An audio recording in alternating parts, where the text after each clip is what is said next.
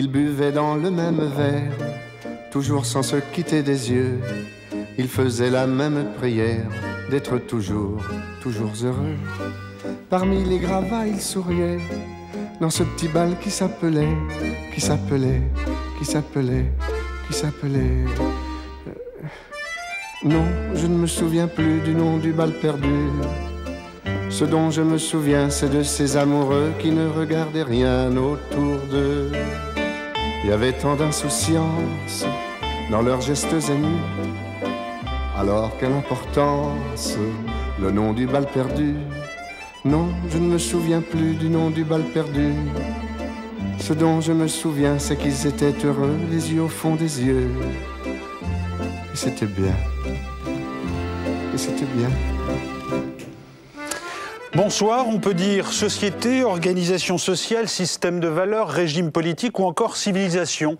C'est ce qu'on appelle le choix des mots, mais c'est celui qui le dit qui y est. C'est des mots de minuit, bonsoir, vous êtes chez vous, sommaire et hommage au peintre Tapiès. J'ai commencé à travailler mm, en prenant mon travail comme une sorte euh, de mission. J'ai eu toujours cette ambition de penser qu'avec la peinture, les artistes, nous pouvons faire changer un peu la vision du monde. Et pour, pour arriver à cette aspiration, euh, il fallait approfondir, étudier beaucoup, lire beaucoup. Ça se voit peu, des fois, non Les artistes, il n'y a qui disent il faut peindre et c'est tout, sans, sans discuter rien. Mais je crois que, comme les Chinois, que, avant de donner le premier coup de pinceau, il faut lire au moins mille livres. Mille? Les Chinois disaient ça.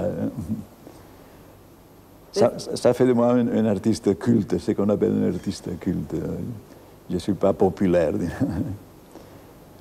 Mais ça ne fait rien. Je sais que j'ai compris que je, je serais un artiste plutôt minoritaire, mais avec, avec des minorités, on a fait de grandes choses dans la vie aussi.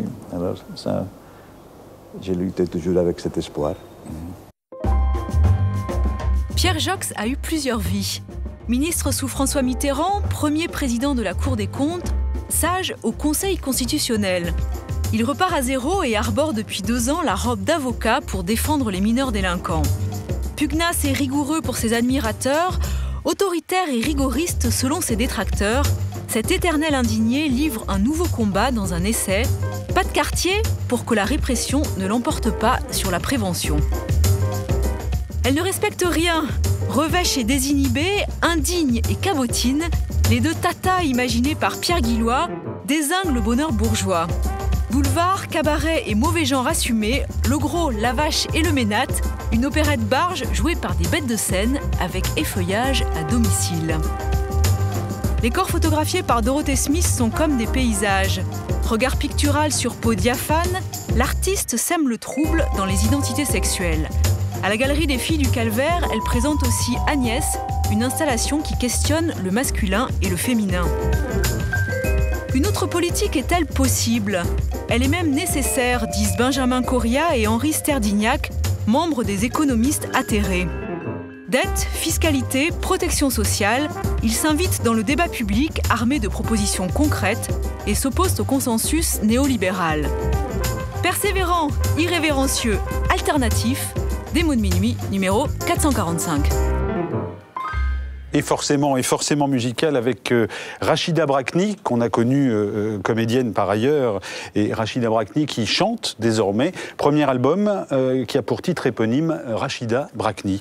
Pierre Jox, bonsoir. Bonsoir. merci d'être avec nous. Est-ce que vous êtes retrouvé dans, dans les quelques mots du sommaire? Est-ce que vous êtes rigoureux ou rigoriste, comme diraient vos détracteurs?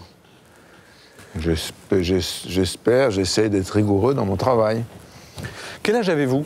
77 ans, ça, ça va. Hein. Ah ben oui, vous, Ça va durer encore quelques mois. Vous portez beau. Vous êtes. Ah bon? non, une question. Pourquoi est-ce que vous portez beau la robe d'avocat? Euh, Vous Ah. êtes un avocat euh, en charge euh, commis d'office? Donc qui défend euh, les mineurs. Quelle était cette urgence, euh, puisque vous avez commencé en 2010, donc quelle était cette urgence à 75 ans de remettre une robe d'avocat? Ah, j'ai porté longtemps la robe de magistrat. J'étais, quand j'étais jeune, conseiller à la Cour des comptes, et quand j'étais moins jeune, premier président de la Cour des comptes. Donc la robe de magistrat, je l'ai portée pendant des années.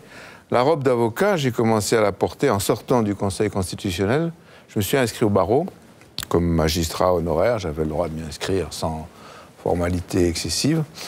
Et si j'ai choisi le droit pénal des mineurs, c'est qu'en France, c'est une institution magnifique qui est en voie de démolition. Comme je l'ai découvert, malheureusement, justement quand je siégeais au Conseil constitutionnel, le Conseil constitutionnel, au lieu de défendre cette institution, l'a laissé entamer avec, en 2002, la loi Perben 1, en 2004, la loi Perben 2, et ensuite chaque année, une loi qui grignotait, qui démolissait, qui, abîmait cette magnifique mais, mais au Conseil constitutionnel, vous n'avez trouvé aucun allié pour défendre les positions qui étaient les vôtres? Si. Mais pas suffisamment Non, très peu. Votre livre, publié chez Fayard, a pour titre Pas de quartier, avec un point d'interrogation, délinquance juvénile et justice des mineurs. Pourquoi ce, mot, enfin cette expression pas de quartier, qui est une expression de guerre, c'est un vocabulaire de guerre. Mm. Pourquoi ce peut-être vocabulaire de guerre? Et pourquoi le point d'interrogation? Et pourquoi le point d'interrogation En effet, ça m'a frappé en, entrant dans les tribunaux pour enfants de voir le contraste qui existait entre la tradition, la pratique des magistrats spécialisés, des juges des enfants, des éducateurs qui sont des gens qui ont une, expérience professionnelle extraordinaire, souvent aussi des policiers qui s'occupent des jeunes, et des lois successives qui avaient l'air de déclarer la guerre à la jeunesse. Et donc, est-ce que le problème de la délinquance juvénile est une guerre contre les jeunes Ou est-ce qu'au contraire, il faut s'inspirer de ce qui, depuis 1945, au lendemain de la libération, au moment de la libération, a été la philosophie, la pratique, le droit français consistant à considérer qu'un enfant, un adolescent, qui tombe dans la délinquance, la justice doit l'aider à en sortir, avoir un rôle éducatif d'abord, de compréhension, d'interprétation, et pas de guerre. Voilà donc pourquoi j'ai pris ce titre, parce que je pense qu'on est entré, malheureusement, sous l'impulsion d'une majorité qui a accepté ça depuis des années, dans une logique oui, de, guerre intérieure, de guerre à une partie de la jeunesse qui ne se reconnaît pas dans le, portrait qu'on donne d'elle. Vous défendez euh, comme avocat... Excusez-moi, pourquoi le point d'interrogation Pardon. Parce que le pire n'est pas sûr. Je pense que Et que vous êtes un optimiste. Je suis optimiste. La France qui a adopté en 1945 un régime qui a été admiré dans toute l'Europe, ne laissera pas durablement démolir le système qui est actuellement mis en cause. Donc la France en 1945, euh, et De Gaulle avait beaucoup insisté pour cela, pose le primat de, l'éducatif sur le répressif et le primat du préventif euh, sur le répressif. Je vous lis, vous êtes avocat commis d'office euh, d'une jeune Rome qui s'appelle Pougny, enfin en tout cas elle vous autorise à l'appeler Pougny parce qu'elle a plein de noms, et beaucoup de noms en tout cas, euh, qu'elle est enceinte et qu'elle pourrait avoir 14 ans. et vous dites ceci, en attendant, il y a une enfant maltraitée en France par un droit maltraité, un droit assez tordu pour qu'elle puisse être expédiée en prison pour un petit larcin, sans procès équitable, alors que l'ancien président de la République échappe à toute poursuite pendant des lustres pour des détournements de millions connus et reconnus de tous. C'est d'ailleurs durant le dernier mandat de ce président, alors qu'il multipliait sans vergogne les manœuvres pour échapper à la justice, qu'a été lancée par un de ses obligés la grande offensive politique contre un prestigieux héritage de la résistance, l'ordonnance du 2 février 1945 relative à l'enfance délinquante. Donc on voit donc euh, chez vous à la fois le magistrat et le politique qui pose aussi la question d'une morale politique. Euh, est-ce qu'il est à ce point nécessaire de comparer Chirac et Pougny? Oui, à certains égards. Quiconque relève de la justice doit être jugé un jour.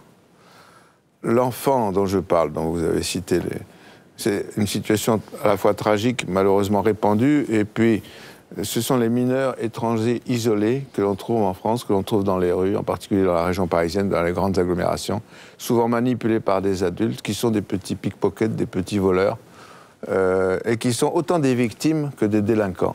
Et ceux-là, ils sont jugés souvent vite fait, et des lois de plus en plus répressives les atteignent rapidement. Le contraste que je fais à l'égard de celui que vous n'avez pas nommé, et que là, il a fallu des dizaines, des lustres, 15 ans, pour arriver à ce que la justice finalement arrive à une condamnation qui ne sera d'ailleurs pas appliquée. Donc le contraste, ça a fait un peu penser au, vous savez, ces vers des animaux malades de la peste de la fontaine, selon que vous serez puissant ou misérable, les jugements de cour vous feront blanc ou noir. Sauf qu'à l'époque, la cour, euh, c'était la cour euh, royale, c'était les magistrats du roi, c'était les hommes du roi. Aujourd'hui, il y a en France des magistrats professionnels, des magistrats spécialisés dans la jeunesse depuis euh, un demi-siècle. Il y a des lois qui remontent à la libération et qui précisément visent à traiter mieux les enfants, à les traiter non pas comme des délinquants juvéniles, mais comme des juvéniles entrés dans la délinquance qu'on veut faire sortir. Eh bien, je pense que là, il y a une espèce de, un mauvais passage dans le droit français qui est d'ailleurs regardé, j'étais ailleurs en Europe, j'étais en, Suisse, en, Autriche, euh, en Espagne, partout, le droit français ancien, le droit de la libération, le droit de... est admiré, et partout, l'évolution actuellement en cours en France est regrettée et, regardée avec, euh, avec surprise, avec chagrin même. Pourquoi y a-t-il cet haro euh, point d'interrogation hein, euh, sur les jeunes, alors que, que vous écrivez aussi ceci, on n'est pas obligé d'adhérer à toutes les analyses du sociologue Laurent Moukieli du CNRS, qui vient de publier, après des années d'études et de collaborations croisées en France et en Europe, un nouvel ouvrage sous-titré Des peurs, des chiffres, des faits analysant les chiffres et les faits relatifs à la violence dans notre société qui ne datent pas d'hier, il montre qu'à partir de statistiques manipulées et du traitement médiatique des faits divers, le sentiment d'insécurité s'accroît dans une société moins violente qu'autrefois. Les jeunes volent moins, ils commettent peu de crimes, et ensuite vous expliquez comment on, détourne la statistique parce qu'il y a une globalisation, alors qu'on s'aperçoit que dans cette globalisation, l'essentiel est fait d'outrages et de petits outrages. comment est-ce que cette société peut à ce point euh, euh, ne pas aimer ses enfants, surtout s'ils sont un peu noirs ou un peu mm. arabes d'origine? Hélas, je pense que c'est une des tristes conséquences de notre passé colonial. Nous avons eu une forte immigration d'origine post-coloniale, on peut dire d'abord surtout maghrébine, ensuite africaine. Et beaucoup de ces enfants, qui sont les enfants ou les petits-enfants, beaucoup qui sont tout à fait français, nés en France, comme vous dites, ils ont des couleurs un peu foncées.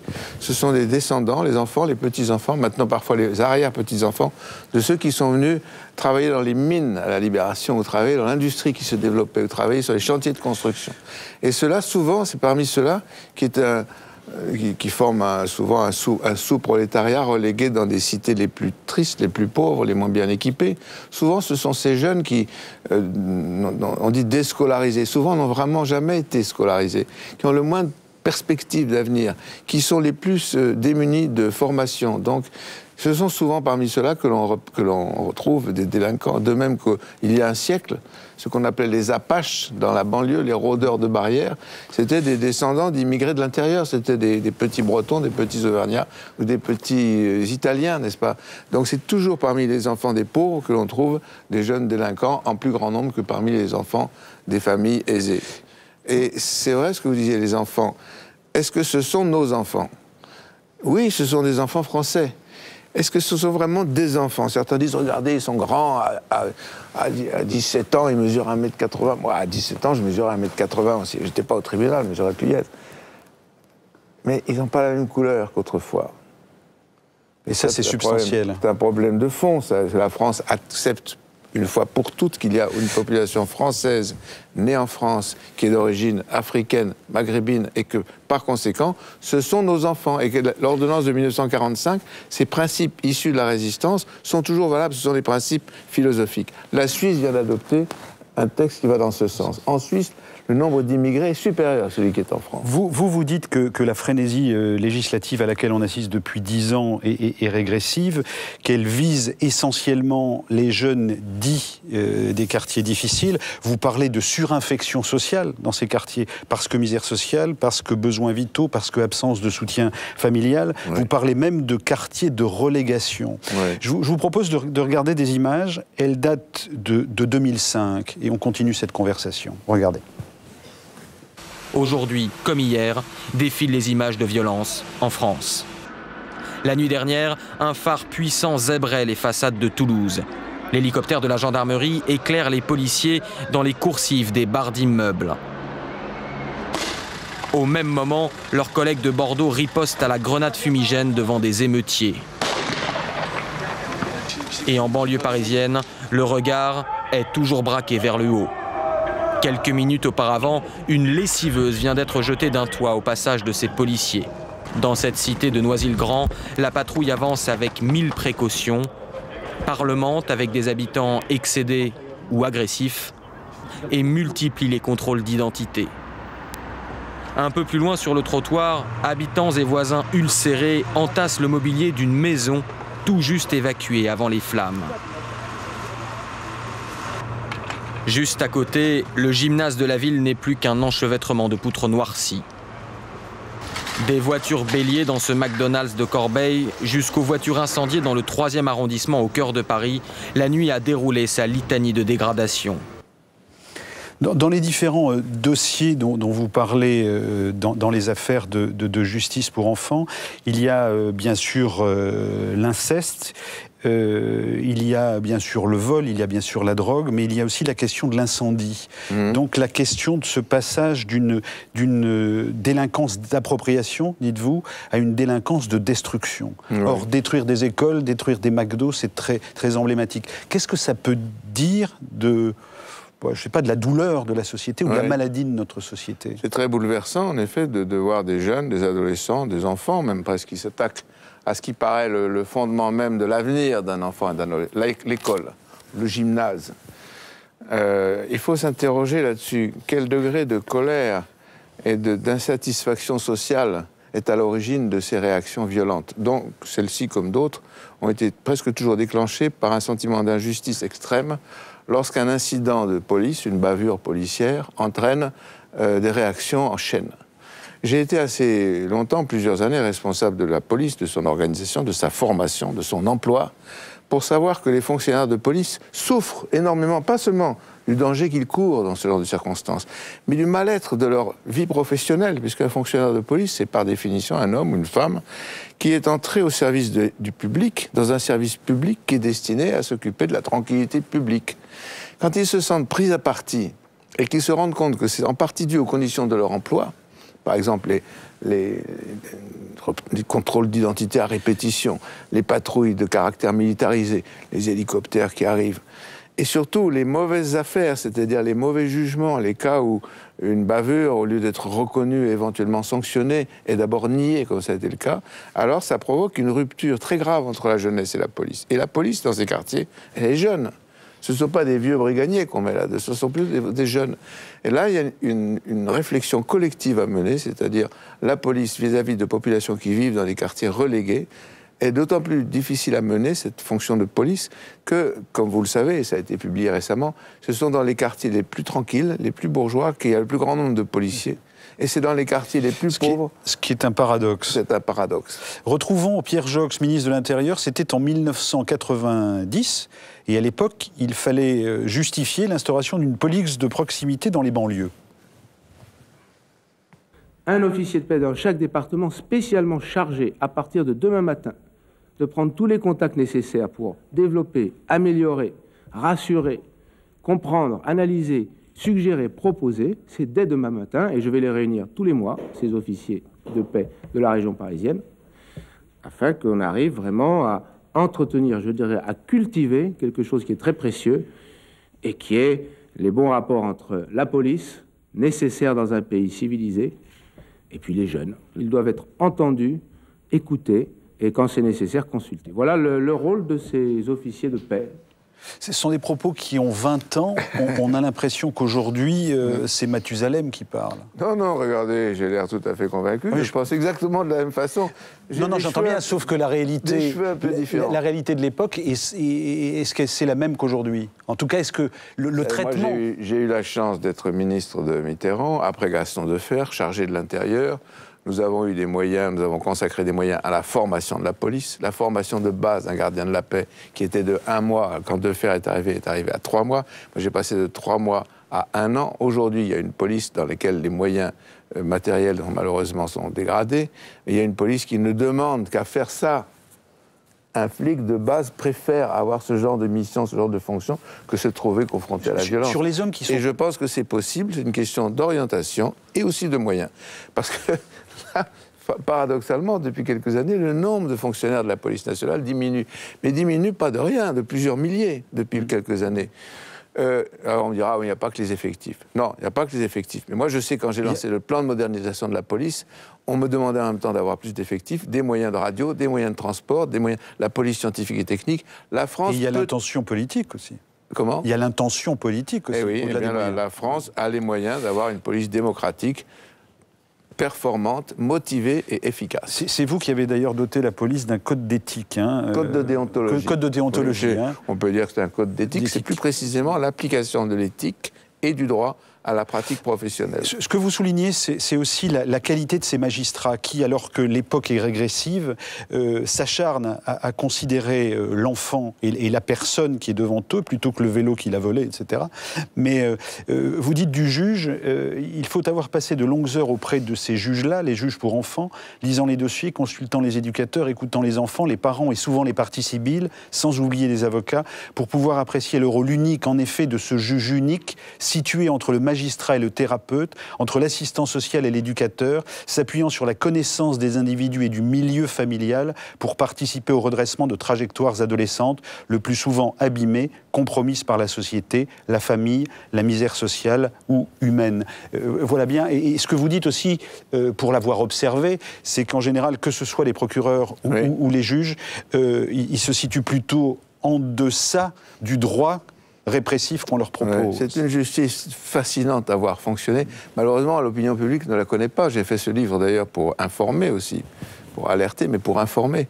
Parce que la règle qui est salutaire de la publicité restreinte qui fait qu'on ne peut pas assister à un tribunal pour enfants comme on peut assister au, en correctionnel à la gestion de ce qu'on appelait les flagrants délits. C'est pour protéger l'identité et l'avenir des enfants. Mais, l'inconvénient, cette règle-là aussi a été euh, a été mise à mal. La elle a été menacée, mais elle n'est pas vraiment complètement mise à mal. L'inconvénient, c'est que euh, l'opinion publique, les Français ne, peuvent pas savoir à quel point il y a en effet là un trésor national, c'est-à-dire un service public à cheval entre le, travail social, le travail pénal, le travail éducatif, et où, comme vous le disiez, les juges, mais même les procureurs s'y mettent. Car le procureur, mm. qui fait bien son métier, se rend bien compte que c'est l'avenir de l'enfant qui détermine l'avenir de la société. Et ça, c'est quelque chose de très fascinant à voir. les avocats jouent leur rôle aussi. Mais il ne faut jamais oublier qu'une une corporation peu connue, ce sont les éducateurs de la protection judiciaire de la jeunesse ou des associations qui travaillent pour elle et qui sont d'une patience, d'un dévouement et qui parfois passent un dimanche entier à suivre un enfant et à s'occuper de lui. C'est quelque chose qu'il faut restaurer. Il nous reste une ou deux questions. Elles sont politiques. Je vais vous parler de l'affaire Karachi dans une seconde, mais pour euh, pour euh, terminer cet aspect-là de, notre conversation, la justice des mineurs, c'est 50 000 cas par an. Euh, c'est 324 000 décisions, des décisions de placement ou de, ou de déplacement de, de, mineurs qui sont prises chaque année. Et vous, et vous dites une chose très importante qui illustre votre propos et qui confirme votre propos, c'est que euh, plus de 8 jeunes sur 10 traités par la justice des mineurs ne récidivent pas. Donc tout ce qui est ça marche médiatique, pas si mal. ça marche pas si Et si nous avions les moyens que le Canada, que le Québec mettent en œuvre, ils sont à 90% de non-récidive. La France peut atteindre cet objectif en 5 ans. J'en suis sûr, si elle y met les moyens. Affaire Karachi, euh, beaucoup de sujets sur l'affaire de Karachi. Regardons un extrait du journal du 7 octobre 2010. Des ventes de t-shirts, de casquettes lors d'une campagne électorale, celle d'Édouard Balladur en 1995. Et sept ans plus tard, un attentat au Pakistan, 11 Français tués dans une attaque ciblée à Karachi. Y a-t-il un lien entre les deux? Un juge d'instruction pose la question. Au cœur des interrogations, une grosse somme d'argent liquide, 13 millions de francs, soit 2 millions d'euros, versés sur le compte de campagne d'Édouard Balladur pour la présidentielle. Officiellement, les dons des militants et les ventes de gadgets. À l'époque, le Conseil constitutionnel a validé ces comptes contre l'avis de ses propres services qui doutaient de l'origine des fonds. Pourrait-il provenir de commissions occultes, celles versées lors d'une vente de sous-marins au Pakistan lorsqu'Édouard Balladur était Premier ministre?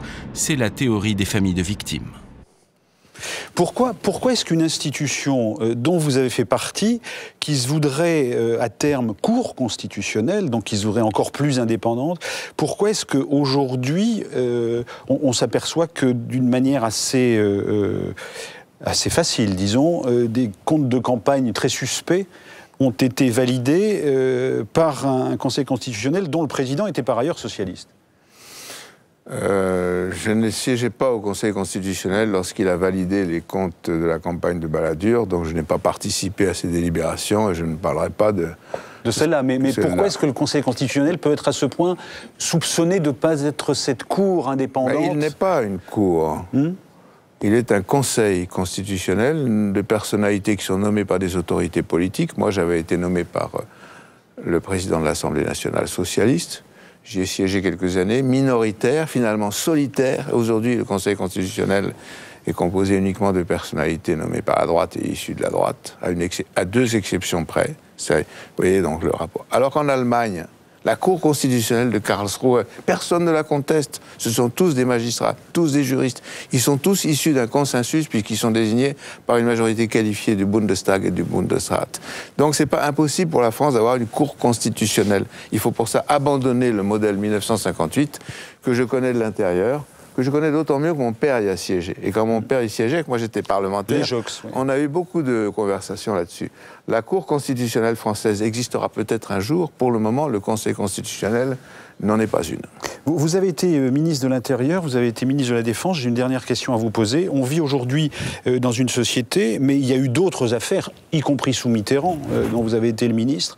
Mais au- aujourd'hui, on vit dans une société dans laquelle des procureurs du- d'un des plus grands parquets de France sont mis en examen, dans laquelle un patron de la direction centrale du renseignement intérieur est mis en examen dans une affaire sur l'espionnage des, des journalistes. Vous, le politique qui a 77 ans, reprend son, ba- son bâton d'avocat, euh, et vous avez connu aussi la, la malversation euh, politique. Qu'est-ce que vous pensez de cette société-là? La société, vous savez. Non, mais ce moment, ce, ce moment, ce moment-là de la société. Ce moment, dans le moment actuel de la société française, il y a clairement des orientations politiques que j'ai combattues toute ma vie et qui me paraissent extrêmement regrettables. Mais comme on est en période électorale, je ne vais pas faire une campagne à laquelle je participerai en d'autres terrains qu'ici. Ce que je peux dire, obligé j'étais parle- rigoriste, au rigoureux et au rigoriste, je pense que de- dès qu'on s'écarte du droit dans le fonctionnement démocratique, euh, dès qu'on constate que, en effet, euh, vous avez cité, c'est un très haut magistrat peut se livrer à des actes qui sont maintenant euh, mis en examen, euh, c'est qu'il y a un problème de fond. La justice en France est, en effet, je la connais un peu maintenant de l'intérieur, la justice. Mais ne croyez pas que je dis ça en politique. Vous m'avez dit que je suis un politique. Je ne suis pas du tout un politique, moi. J'ai 50 Non. années de service public, Si- militaire et civil. J'ai été dans la vie politique pendant 20 ans. C'est que pendant 30 ans, j'ai fait mon métier de magistrat ou de juriste dans un autre cadre. Mais il n'y a pas besoin d'être un politique, n'importe quel citoyen, il n'y a pas besoin d'être un avocat ou un magistrat pour savoir que dès qu'on s'écarte du droit, et on s'est beaucoup écarté du droit ces dernières années, la démocratie est mise en cause. Merci Pierre Jox. Je rappelle le titre de votre livre, euh, Pas de quartier, c'est publié euh, chez Fayard. Et c'est un, un bon conseil de, de lecture pour, euh, pour comprendre les, les mécaniques qui nous occupent quand on, quand on regarde les, les jeunes chevajons. Euh, ça, c'était un autre de vos collègues qui avait dit ça. Euh, musique, si vous voulez bien, avec Rachida Brakni, ancienne sociétaire de la comédie française, euh, passionnée, passionnée par quoi? Passionnée par la chanson. La preuve avec cet album, euh, c'est un premier album euh, qui a pour titre Rachida Brakni. Premier titre et premier extrait, ça s'appelle Terre fatale.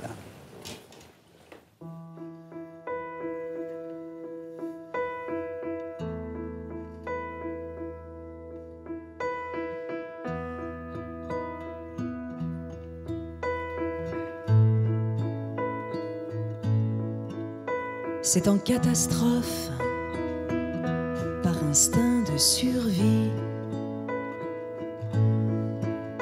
que fuyante je t'apostrophe, telle une belle de nuit. Prise dans tes racines, comme des barbelés, d'une nuit assassine je ravive enfin les plaies. بلادي بلادي تجري في عروقي نعيا نعيا نولي لها Si lance au décollage, faussement désinvolte. J'avance dans les rouages d'une marche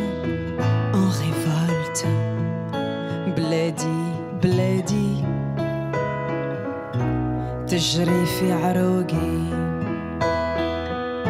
نعيا نعيا نولي لها J'erre dans les turbulences d'un combat acharné. Mais de ta lourde présence, je me suis détaché. بلادي بلادي تجري في عروقي نعيا نعيا نولي لها Dois-je un jour oublier, telle une étoile filante, dans la nuit achevée, ta voix déchirante. Dois-je un jour oublier, tel un oiseau de vie, dans la nuit achevée, les chemins du paradis. بلادي بلادي تجري في عروقي نعيا نعيا. نولي لها. بلادي بلادي. تجري في عروقي نعيا نعيا.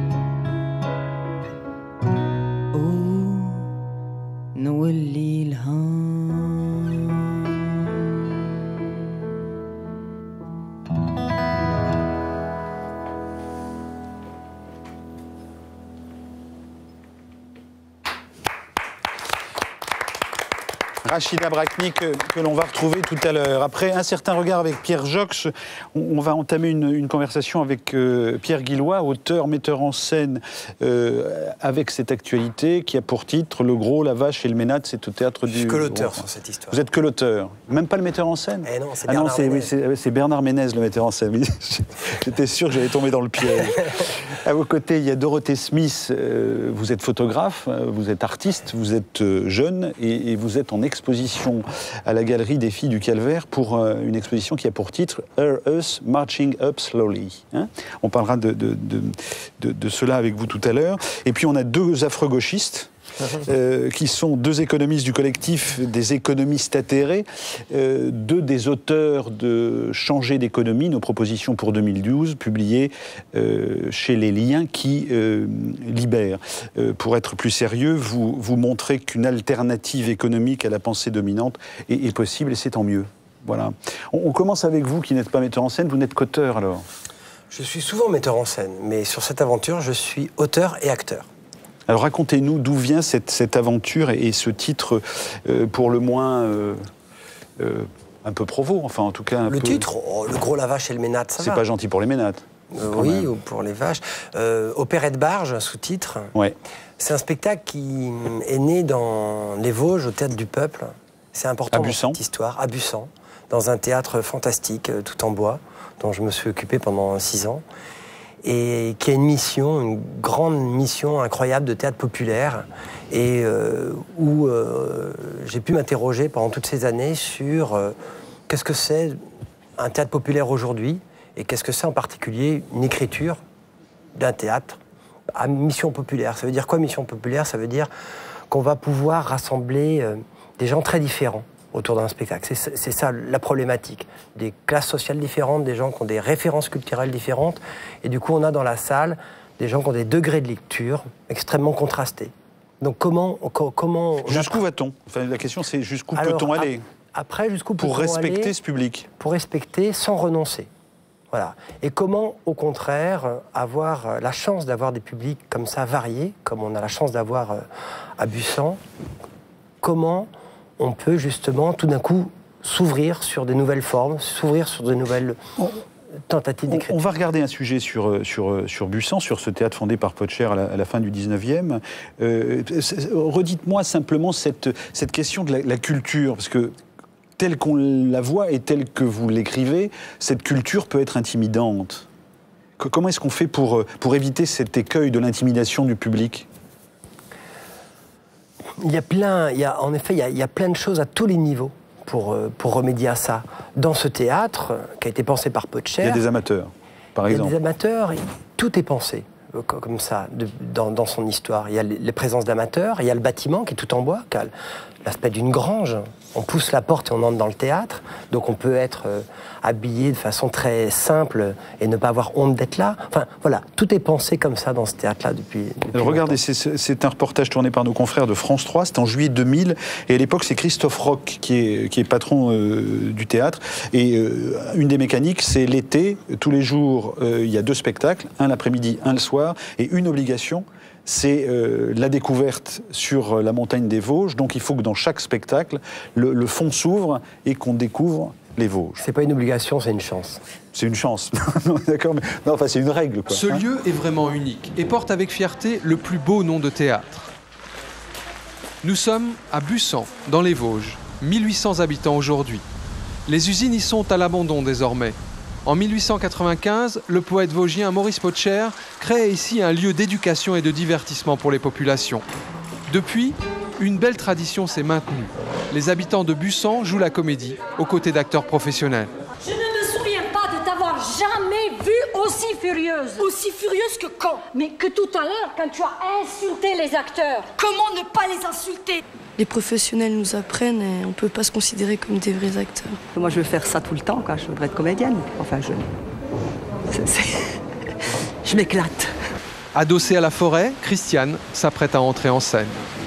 Chaque fois, je me dis, mais c'est pas possible, il faut être fou pour faire ça. Puis après, le plaisir est là, et puis bon, ça compense tout. sont arrivés sur la Volga, pauvre gourde. Et c'est pour ça Tu dois boire un fleuve d'eau de vie Je t'ai pas déjà dit de pas me les casser Si je te les casse, c'est pour ton bien Pour moi, la vie continue après, mais c'est vrai qu'il y a quand même un, un choc quand, tout, quand ça se termine ici, ça c'est sûr. Puis on voit tous les, les amis de, de tout l'été, les, les complices de, de cette grosse aventure qui s'en vont, tout, mais on se dit à la prochaine, en fait.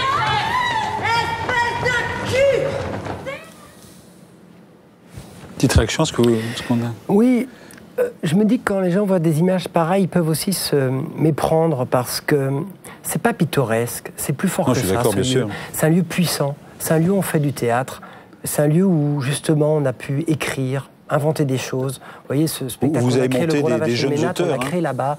Et maintenant, il se balade dans toute la France, il vient à Paris, il n'y a pas de problème. Et, et je pense que c'est important de savoir ça. C'est aussi un lieu où on peut tenter des choses, tenter des choses qu'on n'oserait pas, que personne ne nous laisserait tenter ailleurs.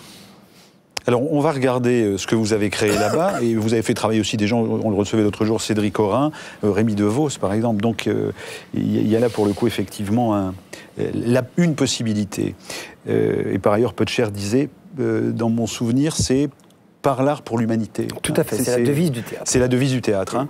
Le gros, la vache et le ménate, ça peut paraître énorme, ça peut paraître vulgaire parfois, ça ne l'est pas. Quel est le, thème central de votre pièce? Avec un metteur en scène qui s'appelle Bernard Ménez et qui, euh, bon voilà, parfois les choses s'effondrent dans ce théâtre. Le metteur en scène dit on peut pas continuer dans ces conditions-là, donc je vais reprendre. Enfin, c'est- toujours drôle. La, tentative d'écriture pour moi sur ce spectacle, c'est de- d'essayer justement de faire un, un- vrai grand spectacle populaire, réjouissant. Il y a de la musique, il y a des images, il y a de la virtuosité d'acteurs, il, y a- des vrais numéros d'acteurs.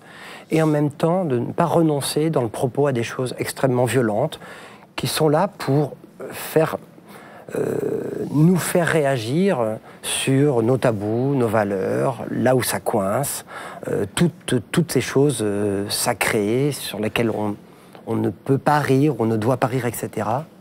On va, on va regarder un petit extrait. Hein. Enfin, il y a plus, que des extraits, c'est un, sujet qui a été fait par Sophie Joubert euh, sur place, et on va comprendre ce que vous dites. D'accord.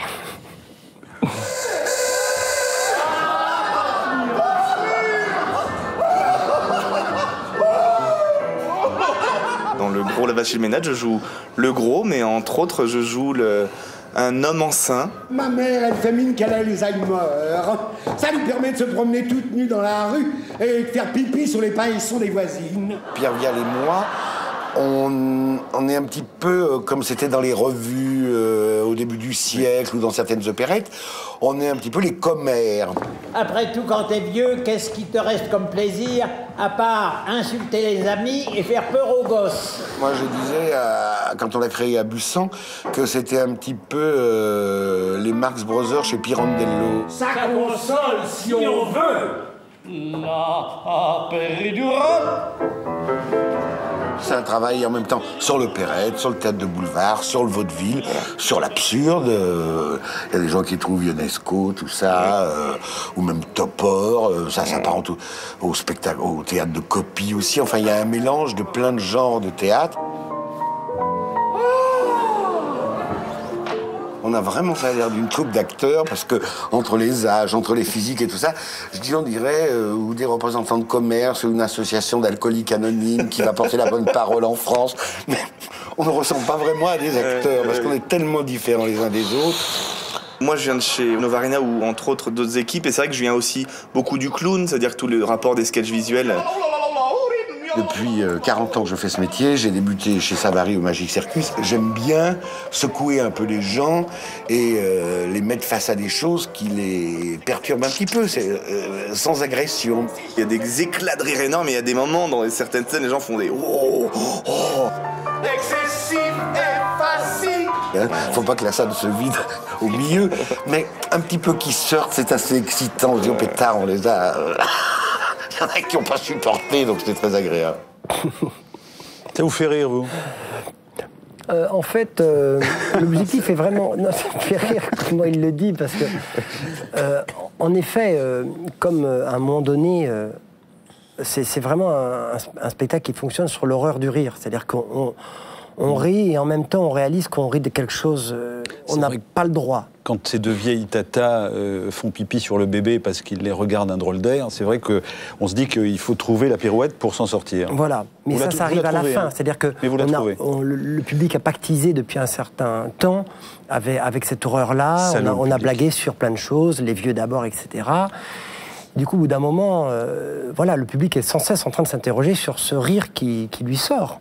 Euh, évidemment, il y a des gens que ça ne fait pas rire, qui, que ça agresse. Heureusement pour nous, euh, ça concerne très peu de monde dans la salle, donc globalement, ça reste un spectacle comique.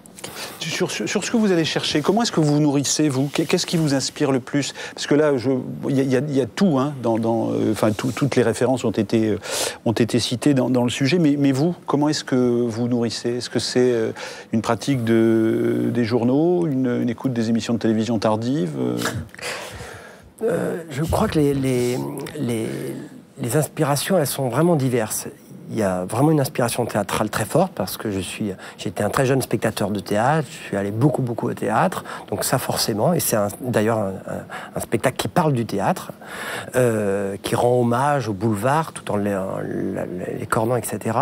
Mais c'est aussi toutes les influences que j'ai pu avoir, c'est Reiser, euh, euh, c'est Goscinny, c'est plein de choses, c'est le cinéma, c'est très divers, je pense. J'ai voulu au contraire réconcilier tout ce que j'avais envie de faire avec ce texte. Dorothée Smith, vous, avez pu voir quelques, images de, de, ce spectacle. Euh, donc, on est dans, de l'opérette, mais euh, une question qui est notamment posée dans ce spectacle, c'est le transgenre. C'est aussi euh, votre sujet, le masculin, le féminin, l'assignation du rôle social, etc.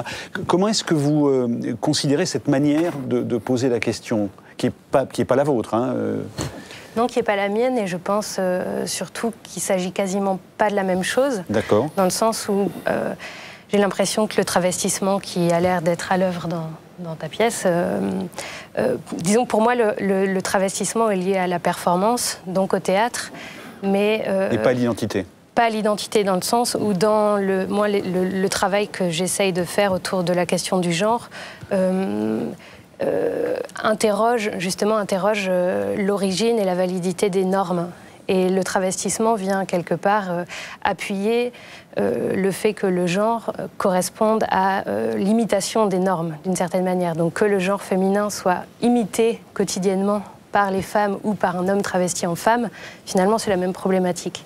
Donc c'est pas exactement le même sujet que moi. Vous, allez, vous aurez l'occasion de vous défendre tout à l'heure. On, on continue, on continue avec vous, euh, avec vous Pierre Guillois. Euh, je voudrais qu'on qu'on aille chercher un extrait d'un spectacle qui s'appelle Sacrifice et, et qu'on écoute euh, Noura Nagouche. Noir à la gauche. Nou- Noir à Noir. Nagouche. Hein Euh, comment est-ce que vous, êtes, euh, vous avez été amené à travailler avec elle, à l'aider dans son travail euh, d'écriture Et vous l'avez rencontrée dans l'Est, hein, puisque elle a, elle a travaillé à Colmar, je crois. Tout à hein, fait. et, Je l'ai rencontré à, à Colmar euh, dans, euh, dans le cadre d'une action culturelle, comme on appelle ça, menée par le Centre dramatique de Colmar, dans les quartiers pauvres, hein, les quartiers dont parlait Pierre Jox tout à l'heure, et, où on a mené une opération avec les habitants de ce quartier, où on a fait un spectacle, plusieurs spectacles. Moi, je suis resté trois ans. Euh, voilà. Et j'ai connu cette actrice euh, là-bas qui était au départ euh, amateur, mais avec une vraie volonté de, faire des choses, qui avait déjà fait des one-woman shows, etc.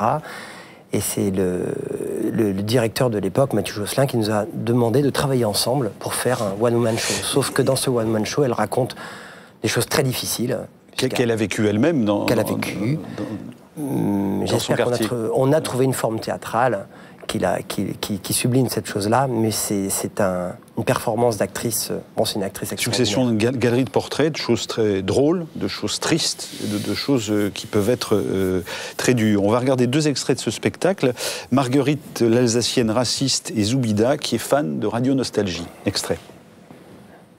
Angélique Yavance, t'as pas l'impression que ça fait une heure que je t'appelle, toi T'étais où, sale pute? Euh, J'étais là, maman, avec Samira. Yo, de toute façon, vous êtes toutes les deux des putes. Et toi, tu passes dans le quartier à ce moment-là, tu te dis, non, mais attends, elle parle avec qui, elle? Mais en fait, elle parle avec sa fille.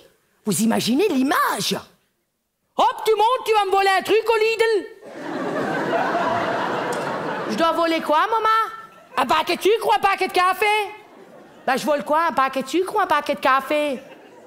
Tu voles les deux, c'est pareil J'adore Radio de Nostalgie. Non, parce qu'entre le ménage, la lessive, la bobotte et le samedi des courses, ça me berce du bonheur. Mais j'écoute seulement quand Rachid il est à la mosquée, hein. Charles Aznavour. Ça vaut toutes les prières du monde. Julio d'Iglesias, Jacques Dubrel. Je sais pas si vous connaissez, il y en a une de Jacques Dubrel qui fait Quand on a que la mort du frère du malandrin. Moi, j'aime bien quand ça monte comme ça, ça fait Alors, sans savoir rien, que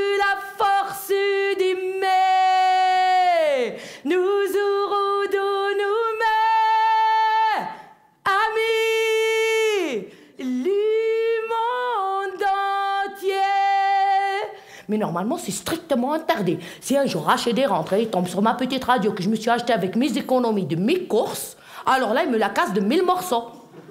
Alors moi, qu'est-ce que j'ai fait? J'ai trouvé un superfuge. Comme Rachid, il a dans le salon un grand cadre comme ça avec la mec dessus, que personne n'a le droit de toucher. Alors moi, qu'est-ce que je fais Je cache la radio derrière la mec.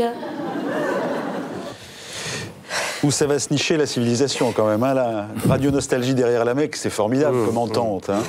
Euh, euh, c'est- forcément euh, social votre théâtre? Non, parce que par exemple, le Gros Lavage et le Ménal, c'est pas social, je pense. Ça raconte le monde. Ça raconte le monde. on- on- Sociétal, On, on est, voilà. faire. Non, mais oui, oui, je dis ça parce qu'en en effet, les personnages sont pas inscrits, vous voyez, socialement. Mm. Mais en effet, oui, j'espère bien que ça parle du monde parce que je trouve que l'intérêt d'écrire, euh, c'est quand même, même si j'ai créé aussi un spectacle historique avec Guy Benisti sur euh, les croisades, donc le choc Orient-Occident, c'était évidemment pour essayer de comprendre l'histoire d'aujourd'hui. Donc je trouve que c'est l'intérêt de l'écriture de- d'essayer de, de traverser euh, notre époque comme on peut. Euh, on va venir sur le travail de Dorothée Smith, mais avant, je voulais poser une question aux économistes que vous êtes, euh, Benjamin Coriat et Henri Sterdignac. À quoi ça sert la culture dans le système aujourd'hui? À quoi, au-delà de cette ce qu'on appelle la culture de masse, le mainstream, etc. Ça sert à quoi dans cette euh, économie financière qui est, la nôtre aujourd'hui? À quoi ça peut encore servir, si tant est que ça, puisse encore servir? Il y, a une, réponse réaliste. ça sert à faire des sous. Hmm. Euh, mais ça, malheureusement, euh, on n'y peut rien, si je peux dire. Sinon, moi, j'aurais tendance à penser que plus que jamais, la culture est importante. Ça veut dire que euh, les seuls éléments de mémoire, d'inscrire une insistance dans des trajectoires de résistance, etc., si elles ne sont pas assises sur de la culture, aujourd'hui, je crois que tout sera balayé. Voilà, ça, je, le pense vraiment. Et donc, il y, a péril dans la demeure, quand même. ah, il y a plus que péril dans la demeure, oui. Il y a plus que péril dans la demeure, oui. Dorothée Smith, vous avez 25 ans, vous avez fait de la philo, vous avez fait l'école d'Arles, euh, vous avez travaillé euh, à Tourcoing. Hein, euh, comment j'ai oublié le nom du Frénois. Voilà, évidemment. comment vous le sentez, vous, ce monde, alors que vous débutez comme artiste, comme photographe? Quelle est, quelle est, la perception que vous en avez? Et, que, pour le coup, on pourrait vous dire, vous travaillez sur la question de l'identité à la marge.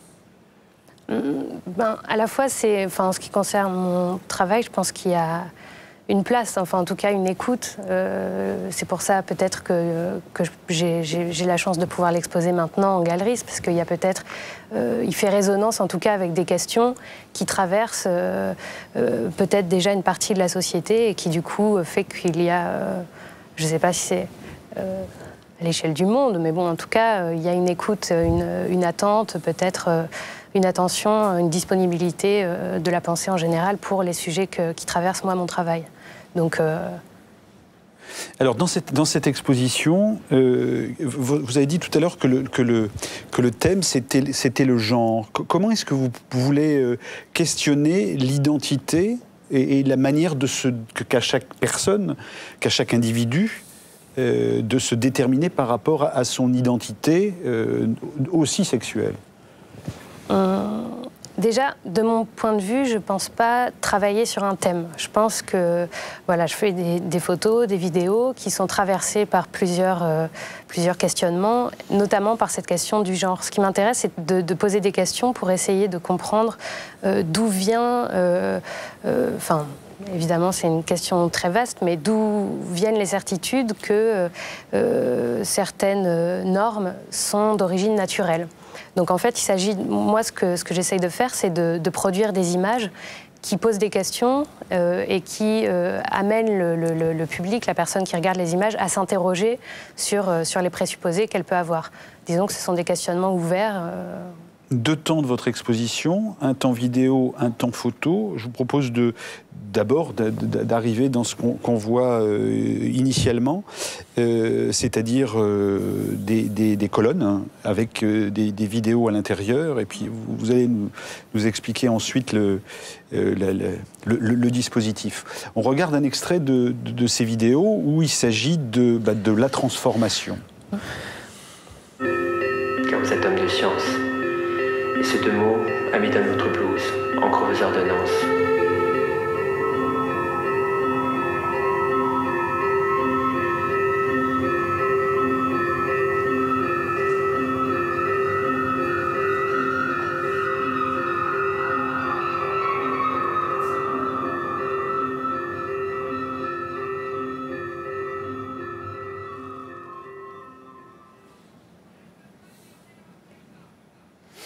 Alors on voit euh, dans, ces vidéos, vous, essayez de, représenter euh, ce qu'a vécu euh, ou la vie d'Agnès.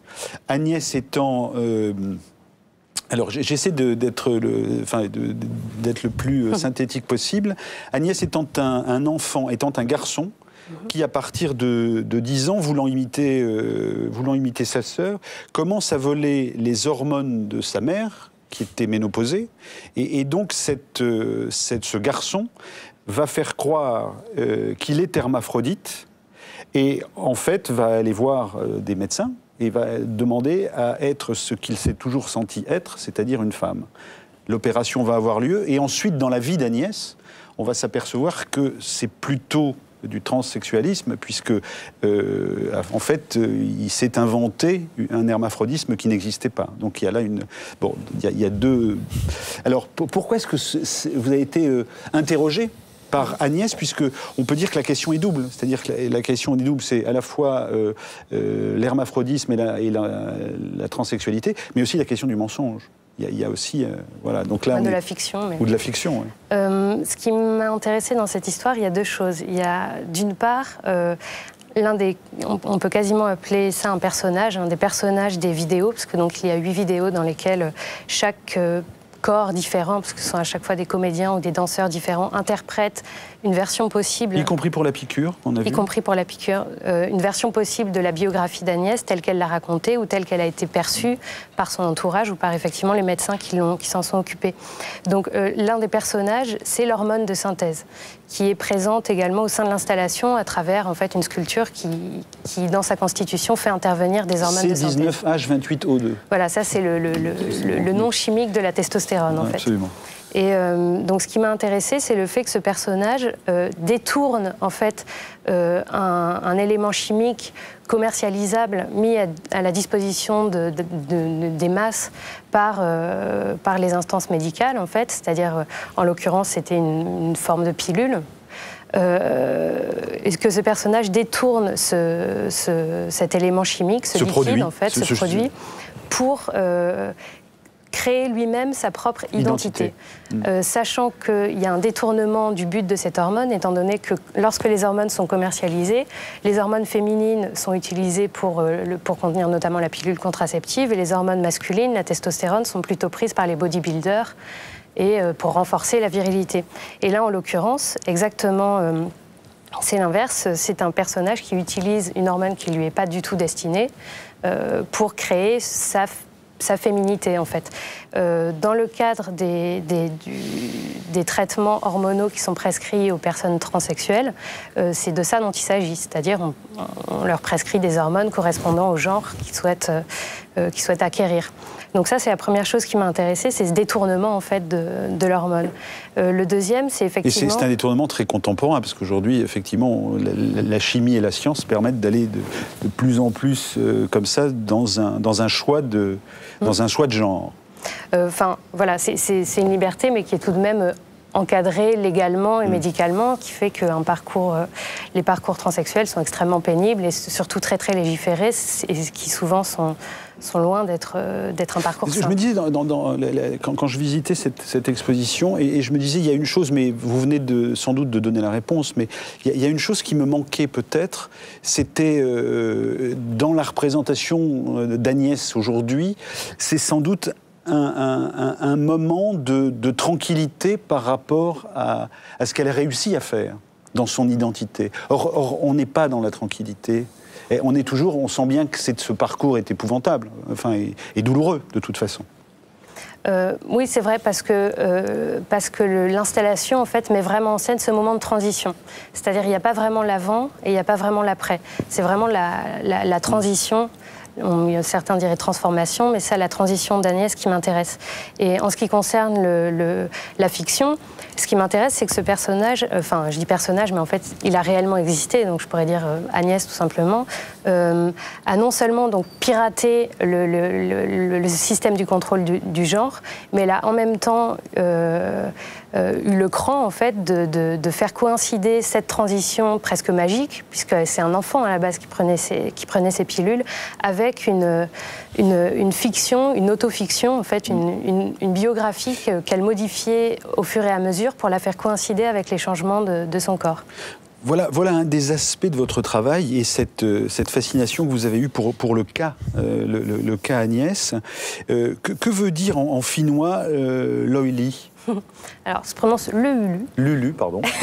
Mais vous êtes allé hein, en, en Finlande. Et euh, en fait, c'est un mot qui désigne euh, le, le- le- le- ce qui se produit lorsqu'on verse de l'eau brûlante sur de l'eau glacée sur des pierres brûlantes. En fait, dans les saunas, qui fait vraiment partie Donc de la cette culture espèce finnoise. de, de vaporisation, c'est de la vaporisation. C'est-à-dire, c'est une vaporisation qui m'intéresse pour ce qu'elle produit euh, visuellement, c'est-à-dire, enfin même euh, au niveau de tous les sens, c'est-à-dire un, un trouble polysensoriel euh, comme ça qui, qui trouble la perception qu'on a de, de, de l'environnement, de soi-même. voilà, cette espèce de dissolution. Et on va se promener, on va se promener dans vos photos et vous allez nous expliquer comment le lu. Euh, le lu apparaît dans, vos photos parce que quand, on, regarde cette exposition euh, euh, dans, la galerie, on est, assez fasciné justement par le fait que vos photos débordent systématiquement. Que ce soit des, photos de paysages ou des photos d'individus qui ne sont pas vraiment identifiés, elles, sont larges. Elles, offrent forcément quelque chose qui permet d'aller à côté. Est-ce que vous êtes d'accord avec cette... euh, Oui, ben, effectivement, il y a un Donc elle rapport, euh, vaporise, hein, elle aussi. c'est ça. ouais. C'est ça, il y, a- il y a vraiment un rapport entre, euh, le- disons, les partis pris esthétiques euh, au niveau de la constitution de l'image, c'est-à-dire souvent des images dont on pourrait dire qu'elles sont presque fades, en fait, d'une espèce de pâleur euh, qui, qui, qui, qui, qui rendent indistinctes les, les, les, les- on va dire, les transitions entre le, le- les personnages et l'environnement dans lequel ils se trouvent, et ça s'applique aussi au, au paysage d'ailleurs. Et euh, ce qui m'intéresse, c'est que quand, on les regarde, qu'on ait ce sentiment de, de trouble et d'indétermination et presque de dissolution qui sont effectivement dans ce mot, dans ce mot finnois, et donc de les rendre perceptibles à la personne qui regarde les images. Est-ce que, comment est-ce que le trouble doit être vécu pour le, public, c'est-à-dire celui qui, euh, qui va échanger avec votre, euh, présentation? Est-ce que vous lui laissez, euh, le choix de, le vivre bien ou de le vivre, je ne vais pas dire mal, mais simplement de le vivre de manière intranquille? Euh, oui, je pense, puisque j'ai des retours qui sont dans les deux sens. Des gens trouvent les photos extrêmement dépressives et, sombres, tandis que d'autres trouvent ça très lumineux et très, très enthousiasmant, euh, presque comme image. Euh, je pense que oui, puisque de toute façon, ce qui m'intéresse, c'est que les, disons aussi bien les corps que les paysages qui sont montrés ne soient jamais complètement lisibles. C'est-à-dire que la pulsion de savoir ce qu'on regarde, de pouvoir définir précisément ce qu'on regarde, n'est jamais satisfaite. C'est pas lui et c'est pas elle. Voilà, c'est ça. Et je pense que ça ne concerne pas que l'identité de genre, ça concerne euh, d'autres problématiques qui peuvent être liées au portrait ou au paysage, mais d'être dans une... euh, À la fois, les images montrent des paysages, des personnages qui sont euh, pas indécis, mais vraiment un stade qui, qui, pour moi, relève de l'indétermination, de quelque chose qui pourrait être en train de se faire, mais qui en reste au, au stade de la, la réflexion, presque, la Comment- rêverie, en fait. Comment travaillez-vous? Vous travaillez en numérique, en argentique? Euh, ben, pour la vidéo, c'était en numérique. Pour la photographie, pour l'instant, euh, en argentique. Quelles sont, quelles sont les références? Qu'est-ce qui vous a constitué dans votre, dans votre travail, dans votre, dans votre intention aujourd'hui? Quelles sont les, les- les- les références qui vous, euh, qui, qui- qui vous semblent évidentes pour vous? Euh, ben, pas forcément des, des- des- des photographes, en fait. Beaucoup de, euh, justement, toute la littérature philosophique euh, qui concerne, euh, qui concerne le, le- peut-être justement les questionnements autour du genre. Enfin, je pense aux travaux de, de philosophes comme voilà, Judith, Butler. Béatrice Preciado, Ouais. beaucoup. Euh, après, il y a des photographes qui ont qui, ont, inspirent peut-être pas les photos directement, mais qui, en tout cas, dans la démarche, a pu euh, m'interroger. Je pense à, forcément à Nan Goldin, à Antoine Dagata, des gens comme ça, dont la démarche qui est quelque part entre l'autobiographie, l'observation, l'ouverture à, à ce qui peut être euh, un monde intérieur traduit, ça, ça m'intéresse. Évidemment, Andrei Tarkovsky. Bon, voilà, je pense qu'en regardant ça. les images, on se rend compte que... Ça sort. On, on va regarder un, un extrait de l'un des chefs-d'œuvre de Tarkovsky, Le Miroir, en 1974. Il s'agit de la toute première séquence du film. Extrait.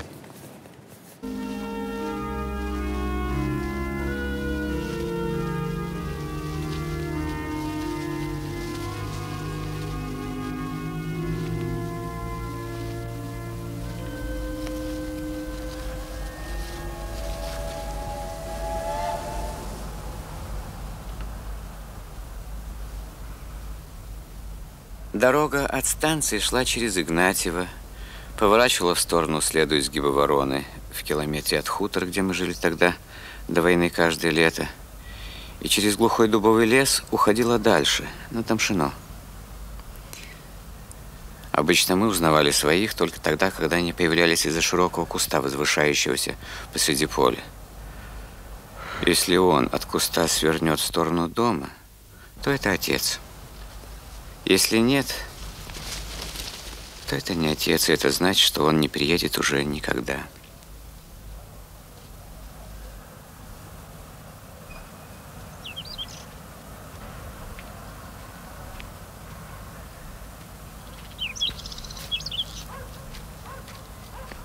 Простите, девушка, я на Тамшино правильно иду? Вам не надо было от куста сворачивать. Voilà, est mort en 1986. L'intégrale de, de, de ses films est publiée aux éditions Potemkin. Euh, tiens donc, vous avez un commentaire à faire sur euh, cette, cette scène, euh, cette entame du... Ah bah si on a plusieurs heures, je peux commencer tout de suite. Non, non, attendez, là, on a 1h30 pour l'émission et voilà. Non, j'ai- ben, dans ce- cette scène-là, justement, on retrouve plein de, de- motifs fréquents chez Tarkovsky. On a un paysage panoramique dans lequel le paysage a l'air, le personnage a l'air d'être en train de se dissoudre, qui est tellement minuscule et qui est presque poussé par le vent comme ça, dans un grand paysage russe, triste, avec quelques sapins, un grand. Voilà, je crois que c'est une femme qui attend le retour hypothétique de son mari. Et euh, après, for- forcément, dans, les, physionomies des, comédiens choisis et des comédiennes surtout choisies par Tarkovsky, euh, moi je reconnais aussi beaucoup de, de choses que je recherche chez les, les personnes que je photographie, c'est-à-dire des visages qui sont assez indécis, très mélancoliques et dont on ignore s'ils nous inspirent de la sympathie ou, du, ou de l'angoisse. Ou... Enfin voilà, et puis. euh, il y a aussi des choses chez, Tarkovsky qui, qui, qui- qui, moi, me marquent beaucoup, qui ne sont pas forcément présentes dans cette scène-là, mais le, le héros tarkovskien, par exemple, la façon dont, dont beaucoup de ses personnages sont, euh, se confrontent au monde et parfois se, replient dans la solitude, ce que j'essaye aussi de- d'essayer de, représenter, ou alors ont, un- ont la sensation d'avoir une sorte de, de, de mission qui se confond presque avec le, avec le destin du monde et qui, euh, qui, les- qui les définit en fait. Sur quoi travaillez-vous actuellement? Euh, ben là, je, je- je travaille sur une euh, installation qui relève euh, à la fois de l'image, un peu inscrite aussi dans le, dans le mouvement du bio-art, quelque chose, ou plutôt l'art hybride, on va dire, et qui interroge euh, toujours la question de l'identité, mais cette fois à partir de, de l'idée du spectre. L'idée du spectre Ben, L'idée du spectre, pour moi, je- je- en fait, je l'utilise comme, euh, euh, disons, une forme de, de- de présence, d'existence, qui n'est pas forcément visible à l'œil nu, mais qui existe, euh, qui n'est pas forcément matérialisable. Vous mais allez qui peut encore nous vaporiser les choses. hein. Ça va être ultra vaporisé cette fois-ci. Et donc voilà, essayer de mettre au point une- un système de représentation de- du spectre. Pierre Guillois, sur, sur ces, ces- ces 20 minutes, qu'est- qu'est-ce que vous retenez de, de- de votre voisine? Bah, là, à la fin, ça me fait penser. Le space, moi, ça me fait penser à Metterlinck tout de suite, hein, en théâtre. hein. On a envie de voir ça. Euh, moi, j'ai monté Péléas et Mélisande sur. euh, Non, moi, je trouve ça très beau. Je trouve que tu parles super bien. Il parle super bien, lui dit-il. Monsieur, qu'est-ce que, qu'est-ce que vous avez entendu de, de cette euh, jeune femme? On a entendu beaucoup de choses. D'abord, on a vu un, un paysage très calme, très paisible, la vie euh, jadis, qui va contraster de façon horrible avec euh, l'économie dont on va être obligé de parler. Et puis ensuite, on a eu, quand même, et puis ensuite, on a eu ces photos également euh, très belles, très changer. Ch- changer d'économie. euh, les économistes atterrés, nos propositions pour 2012, c'est pas c'est pas le premier livre, les liens qui libèrent. Euh, euh, on va essayer de s'arrêter sur deux ou trois choses, puisque sinon on refait le monde. hein, c'est à- peu près ça. Mais par rapport à ce que à ce que vous dites, il y, a- il y a une première chose qui me qui moi me m'a m'a surprise parce que je n'étais plus habitué à le penser comme ça. Et, et ce, que, ce que vous montrez très bien, c'est qu'en 30 ans, tout s'est défait. Pour- Comment est-ce qu'il faut si peu de temps pour défaire une pensée économique et pour en, en fabriquer une, no- une autre qui est purement libérale, qui est purement néolibérale? Et euh, comment ça marche, votre histoire? Écoutez, moi je suis très content que vous ayez cette, euh, que vous ayez cette réaction, euh, parce que tout à l'heure, vous disiez, euh, comme ça, en plaisantant, euh, là, j'ai deux, gauchistes, etc. On a vraiment l'impression, nous, d'être des Bien gens sûr. tout à fait tranquilles et souhaitant revenir à des situations Vous avez même normales. une cravate. Voilà. Votre copain, il a une cravate. Voilà, revenant, souhaitant revenir à des situations normales. Ça veut dire qu'on a vraiment vécu, et là je- j'enchaîne sur ce que vous disiez, euh, et c'est pas fini malheureusement, 30 ans de complète folie financière. hein. On a eu, alors comment ça s'est fait? Euh, Ça s'est fait euh, très progressivement, mais avec des, lobbies qui savaient ce qu'ils voulaient. Euh, avec cette idée totalement folle, totalement folle, qui est devenue un credo, que les marchés sont intelligents, qu'ils savent interpréter, qu'ils savent évaluer, qu'ils prennent les bonnes décisions. Et à partir de ce credo, on a progressivement lâché la main sur ce qui était le contrôle des forces économiques. Et ça a donné le point où on en est aujourd'hui et les explosions successives euh, depuis, euh, depuis au moins 2008, pour ne pas parler de celle de 2001. Alors, avant de rentrer dans le détail, euh, vous, vous dites que, en fait, le point de bascule, ce sont sept années, 1973-1980. C'est- là que, que quelque chose, c'est là que quelque chose va basculer. Comment c'était avant le- le- enfin, le- l'économie quand ça allait bien? Enfin, schématiquement évidemment, Schématiquement, on c'est peut c'est dire- pour donner On envie peut de dire dire. que euh, de 45 à 73, bon, il y avait un compromis entre le capitalisme et le socialisme, l'idée que effectivement on allait étendre la, la protection sociale, hein, l'idée que de plus en plus il y avait à avoir de dépenses publiques, la part du privé allait diminuer, euh, l'idée que la politique économique voulait et pouvait euh, maintenir euh, le plein emploi, l'idée que dans les entreprises il y avait des mêmes intérêts entre les dirigeants et les ouvriers. Et puis en 73, de 73 à 80, on essaye de maintenir ça malgré le choc pétrolier, malgré le ralentissement de la productivité. Et en 80, il y a le tournant libéral, Madame Thatcher, Monsieur Reagan, les classes dirigeantes, les milieux financiers se disent c'est fini, on va se relancer dans la lutte de classe et on va la gagner, on va réussir à augmenter notre part du gâteau par rapport à la part du, travail. c'est aussi- et, et- et ça part comme ça. Quand je vous entends parler, c'est aussi basique que ça, c'est-à-dire qu'il n'y a pas besoin de grands discours. C'est euh, il y a un gâteau et euh, qui se le partage et qui accepte de négocier le partage. Il y a- c'est- il y a d'autres, il y a- Non, évidemment, j'entends bien, il y a le j'entends également, il y a euh, l'économie pour quoi faire? L'économie pour quoi faire? Est-ce que l'économie doit satisfaire les besoins des gens? Alors, qui sont app- des gens normaux, ou est-ce que Je vais vous il- apporter- il faut satisfaire les fantasmes d'une infime minorité? Je vais, je vais vous apporter un, un paradoxe avec un euh, antenne de midi. On est en avril 1983 et on a un gouvernement de gauche euh, qui euh, dit ceci. C'est difficile, c'est la rigueur, on demande aux Français du courage, on demande aux Français de l'effort, mais c'est en ordre. Maintenant, notre politique économique est tracée. Euh, une fois qu'elle est tracée, je crois que nous avons pris nos dispositions. Ça ne veut pas dire qu'il suffit de mettre un levier de commande euh, automatique et que tout ira comme ça tout seul. Non, non, non, non. Le ministre de l'économie et des finances est obligé de veiller, le Premier ministre est obligé de veiller, et le président de la République lui-même. Mais elle est en ordre. Bon, maintenant, aussi bien sur le plan euh, du chômage que sur le plan de l'inflation, que sur le plan de nos équilibres extérieurs, c'est en ordre. Alors, nous n'allons pas rester à attendre chaque mois les indices, à avoir euh, la petite comédie ou la tragédie autour de l'indice. Non, le peuple français mérite mieux.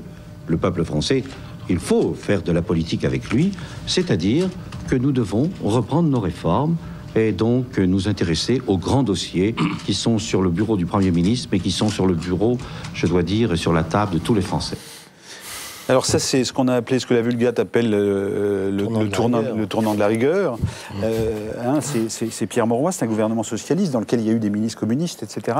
Et, et, pourquoi est-ce que à cette époque, la gauche met euh, le frein sur les politiques expansionnistes, sur des logiques de croissance. Et euh, pourquoi est-ce qu'à l'époque, euh, un mot qui aujourd'hui est dans toutes les bouches, le mot rigueur apparaît? Pour, pourquoi est-ce que la gauche n'a pas, pas réagi au contraire à un keynésianisme encore mieux tempéré que celui dont on sortait? Vous savez que la France s'est trouvée complètement à contre-courant. La France veut continuer la politique de plein emploi, veut continuer la croissance, alors que tous les pays, les grands pays, les États-Unis, la Grande-Bretagne, prennent euh, le chemin inverse. Et donc on s'est trouvé entièrement euh, coincé euh, par les marchés financiers internationaux. On n'a plus d'argent et la tentation de la gauche, c'est de dire ben voilà, on cède, on accepte la logique euh, de la rigueur et ça a amené la défaite électorale et puis il faut se rappeler que à ce moment-là, la gauche cède complètement et se lance dans la globalisation financière. Le, le grand objectif, ça devient développer euh, la place de Paris. C'est vraiment la, stratégie de l'abandon. Sur le plan théorique, la restauration libérale s'est appuyée sur la contre-révolution monétariste. L'État ne doit pas se donner pour objectif de maintenir en permanence le plein emploi, car cela génère un rapport de force trop favorable aux salariés. Il faut accepter un certain niveau de chômage, le taux de chômage naturel, pour discipliner les hausses de salaire. Ce taux doit être d'autant plus élevé que les travailleurs sont exigeants. Si la part des profits s'est détériorée, une phase temporaire de fort chômage est nécessaire. L'objectif de la politique macroéconomique n'est donc plus le plein emploi, mais la rentabilité des entreprises. Cynisme. Oui, cynisme, mais euh, bon, c'est ce qu'on voit. hein. Regardez M. Trichet. M. Trichet, pendant toute sa carrière, hein, sa grande préoccupation, ça a été éviter les hausses de salaire. M. Trichet n'a jamais vu les dangers de la globalisation financière, les dangers des bulles financières. Non, la grande préoccupation, c'est euh, les salaires. Et la grande idée ben, qu'on retrouve aujourd'hui lorsque M. Sarkozy rencontre Mme Merkel, c'est il faut absolument s'engager à faire pression le plus possible sur les salaires. Et, euh, par ailleurs, donc, si euh, il faut mondialiser et globaliser pour, euh, pour s'en sortir encore mieux. Aux économistes que vous êtes, j'ai j'ai envie de poser une question sémantique, c'est-à-dire que on dit la dette, on dit la dette des Français. Est-ce qu'il ne faudrait pas dire leur dette? Oui, ça C'est-à-dire, c'est pas le- pour l'ouvrier ou pour le, le salarié du service public que je Bien suis, c'est pas, je suis pas persuadé d'avoir contribué à l'augmentation de la dette de la France. Oui, oui, oui. Vous Alors avez- que certains, euh, sans doute, euh, ont créé des bulles financières et que les bulles financières font Oui. de la dette. Oui, oui, vous avez tout à fait raison. hein. Et c'est- un point clé. C'est même l'une des raisons euh, pour lesquelles on se déclare atterré. hein. C'est- On vient, on vient à l'origine des choses. Euh, L'une des raisons pour lesquelles on s'est déclaré atterré, malheureusement, il y en a un grand nombre, hein, mais disons qu'une raison fondatrice, euh, c'est cette idée que euh, la crise actuelle euh, serait une crise des dettes publiques. Et parce que l'État aurait été trop laxiste, trop dépensier, en particulier en matière sociale, etc. Bien. Si on regarde un peu les choses tranquillement, on s'aperçoit de quoi? Que avant l'explosion de la crise financière, donc en, fin 2007, hein, avant 2008, euh, euh, la dette euh, française, comme la dette européenne d'une manière générale, était tout à fait dans les critères de Maastricht, c'est-à-dire autour de 60%. Il n'y avait strictement aucun, aucun, aucun signal d'alarme. Et puis en 2010, donc après l'explosion de la crise financière, la dette, je vais répondre plus précisément suite à votre question, a totalement explosé. Donc en fait, en fait euh, la situation dans laquelle nous sommes, et qui est effectivement préoccupante, on, va y revenir, euh, c'est le coût du sauvetage des banques, c'est le coût du rattrapage du dégât atomique que de la conflagration provoquée par la crise bancaire et financière, elle-même provoquée par une spéculation effrénée, euh, avec ces merveilles qu'on appelait les innovations financières et qui sont devenues ensuite par les mêmes les actifs toxiques. Bon, voilà. Donc vous avez parfaitement raison. La dette, c'est pas la nôtre, c'est pas c'est pas celle des citoyens français, c'est pas la vôtre, c'est pas la mienne. C'est la dette qu'a contractée euh, l'État euh, auprès euh, de, de- la finance pour sauver la finance elle-même. Alors le drôle dans l'affaire, si je peux dire, c'est que cette dette a été contractée pour sauver la finance. Et aujourd'hui, la finance vient et dit mais- mais vous êtes très endetté, vous mais vous- n'allez pas pouvoir me payer, vous, et, prendre le contrôle des budgets publics, ce qui est tout à fait catastrophique. Euh, on pioche hein, dans votre livre. Deux questions sur, euh, sur l'Europe. Euh, à quoi sert un pacte de stabilité? Alors, vous allez répondre à ma question, mais simplement, regardez ce qu'on en dit. bah, C'est en, en 2004, 13 janvier 2004, sur France 2, reportage de Christian Marimonneau. Ce Ce jour-là, Francis Maire rayonne. Avec son collègue allemand, il a réussi à convaincre les ministres des Finances de suspendre les sanctions pour déficit excessif, 4% au lieu des 3% réglementaires. Ça, c'était le 25 novembre. Aujourd'hui, la Commission européenne contre-attaque. Présidée par Romano Prodi, après plus de trois heures de débat, elle conteste la décision du Conseil des ministres devant la Cour européenne de justice, du jamais vu pour un sujet d'une telle importance. Le Premier ministre français en visite aujourd'hui à Bruxelles réagit très prudemment. Pour nous, la décision du Conseil est une décision à la fois légale mais aussi légitime. La Commission a cru devoir faire euh, ce, cette action. Je respecte les décisions de la Commission, mais je ne suis pas inquiet quant au résultat. Pour le ministre allemand des Finances, la Commission devrait chercher plutôt la coopération que la confrontation. La Cour européenne devrait se prononcer dans un délai de six mois. Elle devra trancher entre le Conseil et la Commission. Politique contre technocrate. Dans cette lutte de pouvoir, c'est la règle du jeu de l'Europe qui est en train de s'écrire aujourd'hui. Alors la question du pouvoir euh, en Europe est posée entre la Commission et les, et les, gouvernements. Puis en 97, il y aura donc ce pacte de stabilité. Ça, ça a un sens de dire on ne dépasse pas de 3% non, du pays Ça n'a aucun sens. Hein. Il faut bien voir que c'est une, histoire de, c'est une histoire de fou. On a dit on va faire une monnaie unique pour des raisons politiques respectables, mais en fait, les pays se méfient les uns des autres. Les Allemands se méfient des pays du Sud. Donc, on, on, on, inscrit dans la Constitution un pacte de stabilité interdit de dépasser 3% du PIB comme déficit. Mais, mais en pourquoi fait, pas 2 Pourquoi pas 10 C'est arbitraire. Et en fait, on a besoin, à certains moments, de dépasser ce 3% lorsqu'on est en situation de dépression. Et donc, en 2003, en 2004, ça fait un premier drame. Et puis, ben, ça continue. Hein, en 2010, aucun pays ne respecte cette norme. Donc, c'est un peu une histoire de fou. C'est comme si vous vous mariez et vous inscrivez dans le contrat tout, tout, tout, tout, de manière extrêmement précise, alors que le mariage, c'est pas ça. La politique économique, c'est pas des règles stupides et immuables. Dans, les, à chaque fois, ce qui est intéressant dans votre livre, c'est qu'il y a des propositions. Alors, par exemple, en termes de fiscalité, vous faites une proposition numéro un qui est la suppression des niches fiscales. Proposition numéro 2, création de deux nouvelles tranches d'impôt sur le revenu, taux de 50% à partir de 10 SMIC, taux confiscatoire au-delà de 20 SMIC. Proposition numéro 3, création d'un serpent fiscal européen. Donc, à chaque fois, par rapport aux différentes thématiques que vous abordez, il y a des pistes. Et il y a la possibilité d'envisager les choses autrement. Je, voudrais que, qu'on s'arrête, si vous voulez, sur euh, un moment sur l'entreprise. Euh, et même chose, en 30 ans, on a tout changé. Et donc, euh, ce qu'on évoquait tout à l'heure, c'est-à-dire cette idée qu'à un moment, euh, l'ouvrier et le cadre dirigeant pouvaient partager quelque chose qui était de l'ordre d'une euh, d'une idée de l'entreprise mmh. dans une société donnée avec une responsabilité sociale donnée. Ceci a été cassé simplement parce qu'on a créé les stock options. Et, et, dans votre livre, je crois que euh, à un moment vous parlez de euh, et c'est intéressant de voir effectivement comment on crée des appétits et des instincts de prédation chez les managers qui aujourd'hui sont milliardaires. Ouais, enfin, ouais. certains d'entre eux, en tout cas ceux du CAC 40, pas forcément les PME, mais ceux du CAC 40 sont, euh, sont, sont milliardaires. Voilà, et, et, vous dites ceci, c'est une note, mais je la trouve euh, fondamentale. En 2007, la rémunération moyenne des patrons atteignait 4,6 millions d'euros.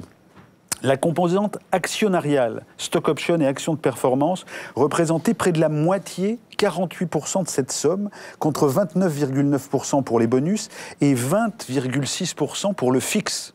C'est-à-dire que le salaire, c'est 20%. Oui, et tout le reste, c'est euh, en oui. fonction de la valeur actionnariale de l'entreprise, donc oui. en fonction de la rente et de ce que l'entreprise euh, euh, admet à la rente, pardon, euh, apporte à la rente. Euh, comment est-ce qu'on casse ça? C'est-à-dire que du jour au lendemain, on dit au patron de chez Renault, euh, tu touches plus un million d'euros par mois, mais c'est beaucoup moins Oui. Si vous voulez, jusqu'aux années 80, 70-80, bon, il y avait cette idée euh, que l'entreprise, c'était un peu une communauté de destin. Hein, C'est-à-dire qu'on mmh. était tous embarqués, etc. Bien. Et donc, c'est au nom de cette idée qu'en cas de difficulté, euh, parce qu'une entreprise, il y a des moments où ça va moins bien, on demandait aux uns aux autres de se serrer la ceinture, d'accepter des baisses de salaire, le cas échéant des licenciements, etc. Très bien. Bon. Euh, et c'était ça, un peu, c'était ça un peu le pacte. À partir des années 80, qui correspond au pacte macroéconomique dont parlait tout à l'heure Henri Sterdignac, à partir des années 80, c'est l'inverse. Euh, la mise en chômage devient la garantie de la rentabilité future. Et donc, c'est la variable d'ajustement. Absolument. Et, et c'est la et anticiper. On n'attend pas que ça aille mal. Pour garantir les taux de rentabilité futurs, on met en chômage aujourd'hui. C'est les fameux licenciements boursiers. Vous savez, Michelin qui annonce à la fois des profits mirobolants et des licenciements. Alors comment on est arrivé là? On est arrivé là par une série de changements. Mais un des changements majeurs, ça a été les grandes privatisations hein, de 83, 86, etc., qui ont été spécialement fortes en France puisqu'on avait un grand, parc- un grand parc public. Et donc on a vu arriver euh, des, euh, des- des- des gestionnaires de fonds euh, avides d'argent, parce qu'eux-mêmes sont en concurrence les uns avec les autres. Ils doivent rendre compte à leurs à leur, à leur, à leur mandataires. Euh, euh, voilà. Et ils se sont mis à exiger des rentabilités euh, extrêmement élevées. Pour obtenir ces rentabilités extrêmement élevées, alors on arrive au point, on a cassé la forme de rémunération des managers en leur disant désormais avec cette histoire de stock option, c'est-à-dire distribution d'actions peu chères par anticipation qui peuvent réaliser quelques années plus tard, en disant maintenant c'est à vous de jouer. Si vous vous comportez conformément à nos intérêts, c'est-à-dire que votre priorité c'est la valorisation des titres de l'entreprise sur les marchés, vous en êtes les premiers bénéficiaires. Et euh, on a eu, à partir de ce moment-là, un changement radical dans la manière dont euh, les entreprises sont gérées, avec ces creusements gigantesques.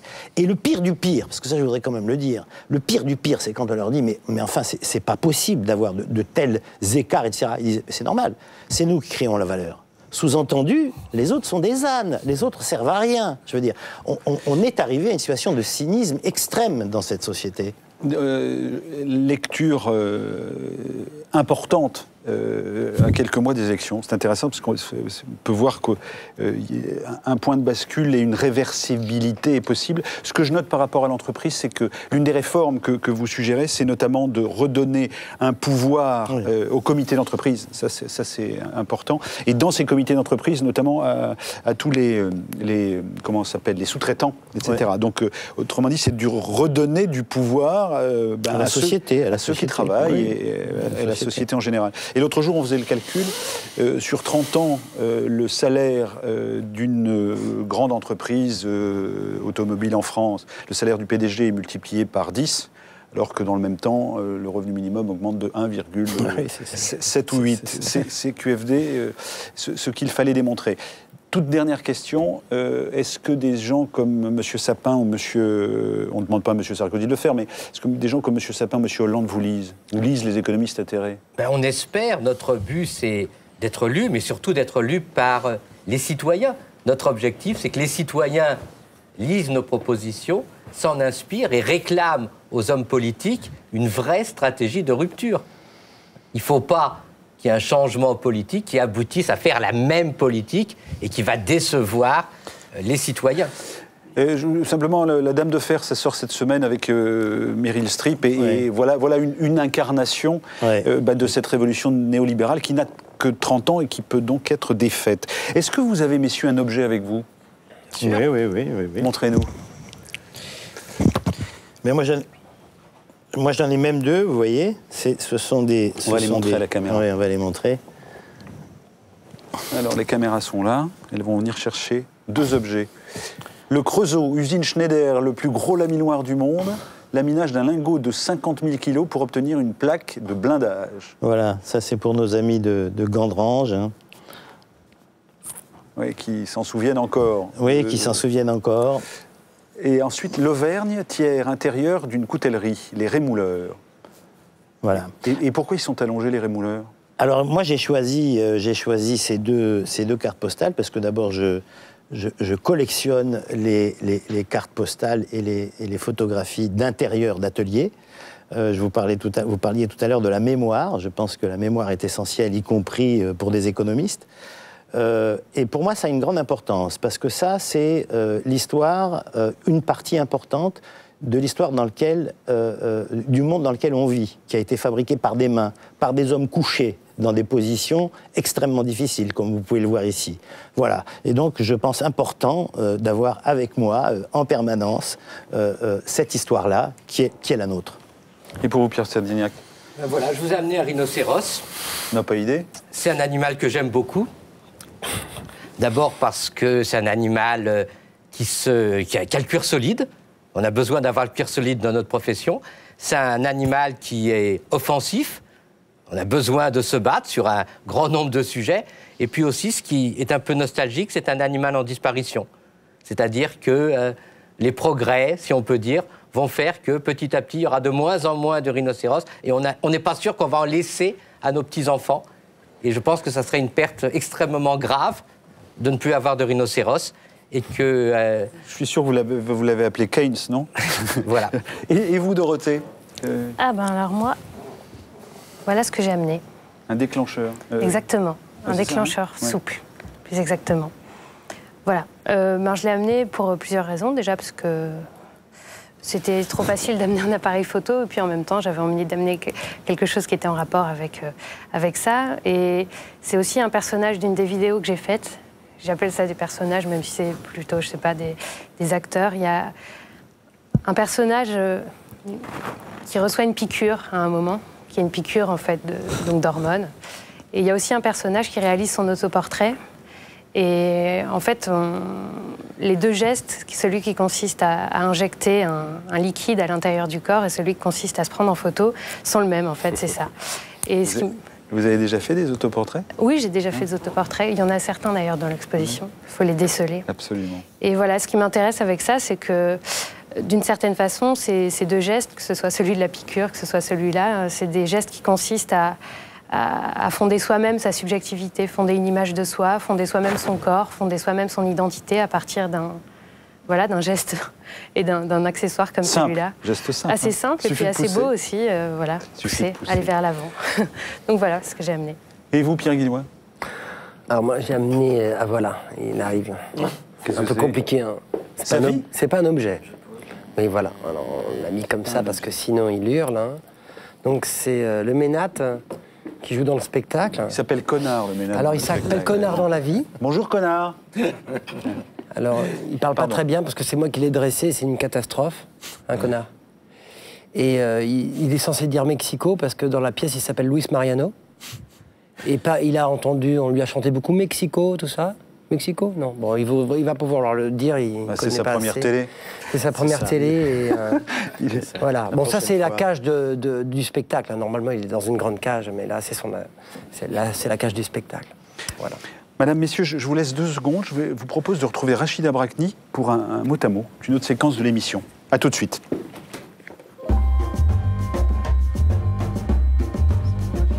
Heureux de vous avoir. Connaissez la règle de ce, de ce mot à mot Oui. Je vous dis cinq mots et euh, on essaie de, de faire avec. D'en parler D'en parler un peu. Le, le- le premier mot, c'est modestie. Modestie. Ouais. Ce que m'évoque la modestie, Ouais. ça me paraît. euh, en tout cas, c'est une belle vertu. Euh, euh, je sais pas, je, c'est difficile de parler de la modestie. Euh, Est-ce qu'il y a une modestie à, à repartir, euh, à repartir euh, sur les routes avec, euh, avec finalement euh, un, un tout autre métier, même si c'est une passion de, de toute petite? Je sais pas si ça demande de, je sais pas si ça requiert de la modestie. Ou de passer en première partie de, de spectacle, par exemple Ben, ça me paraît, euh, ça me paraît euh, normal. Euh, je crois pas, je crois pas que, euh, que, que, que, la modestie ait, ait à voir grand chose là-dedans. Après, euh, en tout cas, c'est pas le moteur, c'est pas le moteur premier, c'est pas ce qui va m'animer, qui, f- c'est pas la modestie qui m'anime, qui fait que je vais euh, euh, me dire que je vais me confronter à des premières parties. Peut-être parce que je, je le suis. Alors pour le coup, j'aurais tendance à dire l'inverse. Euh, me concernant, il faudrait que je fasse plutôt attention à l'inverse, à l'excès de modestie. Scène. Euh, l'endroit qui me. L'endroit dans, dans lequel je suis euh, le plus dans mon élément. Euh, c'est un endroit qui me manque. J'ai commencé par là. Et ça fait très longtemps que je ne suis pas montée sur scène. Et ça me manque euh, physiquement. Et, et donc la chanson, c'est aussi pour, pour, pour renouer aussi avec, avec, euh, avec la scène, avec tout ce que ça comporte, d'être euh, confronté directement aux autres, d'être entouré et, et de retrouver aussi cette idée de troupe hein, et, euh, et de sillonner un peu, euh, voilà, la France et, et d'aller voilà, à droite et à gauche raconter des histoires. Tocard. Des tocards, il y en a plein des tocards. Vous les chantez même. Oui, je le chante. Euh, ouais, c'est une petite, une, petite, euh, une petite touche d'humour. C'est un mot que j'adore. J'adore ce mot tocard. Je trouve qu'il sonne. euh, Tocard, connard, euh, ça peut être des noms de ménates, quoi. Exactement. Exactement. Et je trouve que ça. euh, il a. Il a hum, tocard, il a. Il a il a plein de résonances. Il, a, il peut avoir son, son sens premier. euh, Ouais, celui que vous chantez, vous le virez quand même. hein. Voilà, exactement. C'est un con. Mais c'est un con, euh, on peut le dire clairement. Mais il y a aussi beaucoup de, il y a aussi beaucoup de tendresse. Enfin, Mm. euh, souvent les hommes aussi peuvent se traiter de tocard avec beaucoup de, d'amusement. Il y a deux hommes dans votre disque. Il y a, euh, Il y en a trois. il y a Cali, Eric Cantona Et Burger. et Burger. Mm. ouais. Ne sont pas des tocards, ce que je voulais dire. terre, terre que vous chantez en arabe d'ailleurs. Oui. Euh, terre, euh, racines, c'est mes racines. Euh, J'en avais besoin. C'était un, un contre, un contrepoids qui m'est euh, qui m'est nécessaire. Et le dernier mot sera conservatoire. On l'a mis avec une majuscule, mais il n'y a pas d'obligation. Conservatoire, c'est loin le conservatoire. C'est là que tout a commencé pour moi. Le conservatoire, quand même, malgré tout. Euh, c'est euh, le conservatoire, ça m'évoque des sentiments très contradictoires. J'ai fait des rencontres merveilleuses. Euh, j'ai cru en sortant du conservatoire que j'avais pas été si heureuse que ça au conservatoire. Et avec le temps, finalement, j'ai une certaine nostalgie pour le conservatoire et, je me dis que j'ai quand même appris, mes bases, mes fondamentaux. Vous allez retrouver la chanson dans, une seconde, mais d'ici là, euh, vous allez, vous, avoir le choix avec du théâtre, du cinéma et de la poésie.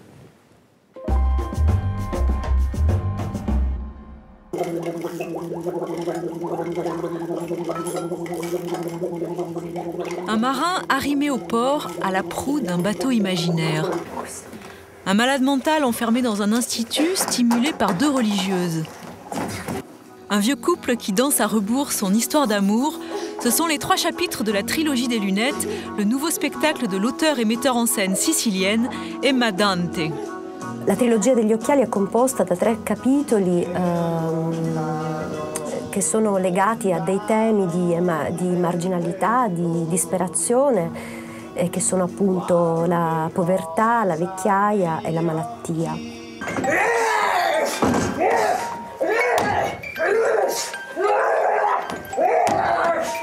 Gli accessori eh, scenografici sono dei giocattoli e questi personaggi vi giocano, giocano in maniera infantile con, eh, con la loro vita. Quando faccio il teatro eh, ho sempre una, mm, un problema, divento piccola bambina, è una regressione infantile per me fare il teatro e quindi mm, a volte perdo di vista anche mm, la misura. Non ho- a volte non ho misura, come, come i bambini.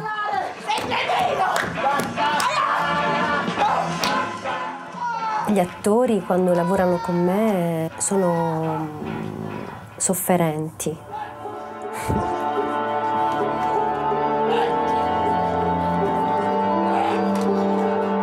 Perché gli si chiedono delle cose molto intime e quindi a volte è difficile di essere intimi, perché il teatro è un luogo dove, dove non ci sono schermi, dove non ci sono barriere ed è un luogo della nudità.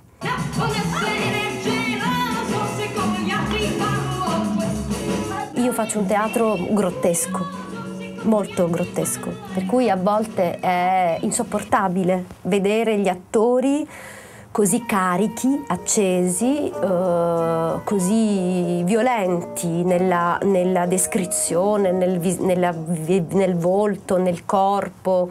E questo, questo è un, un- un rischio di lontananza dal pubblico.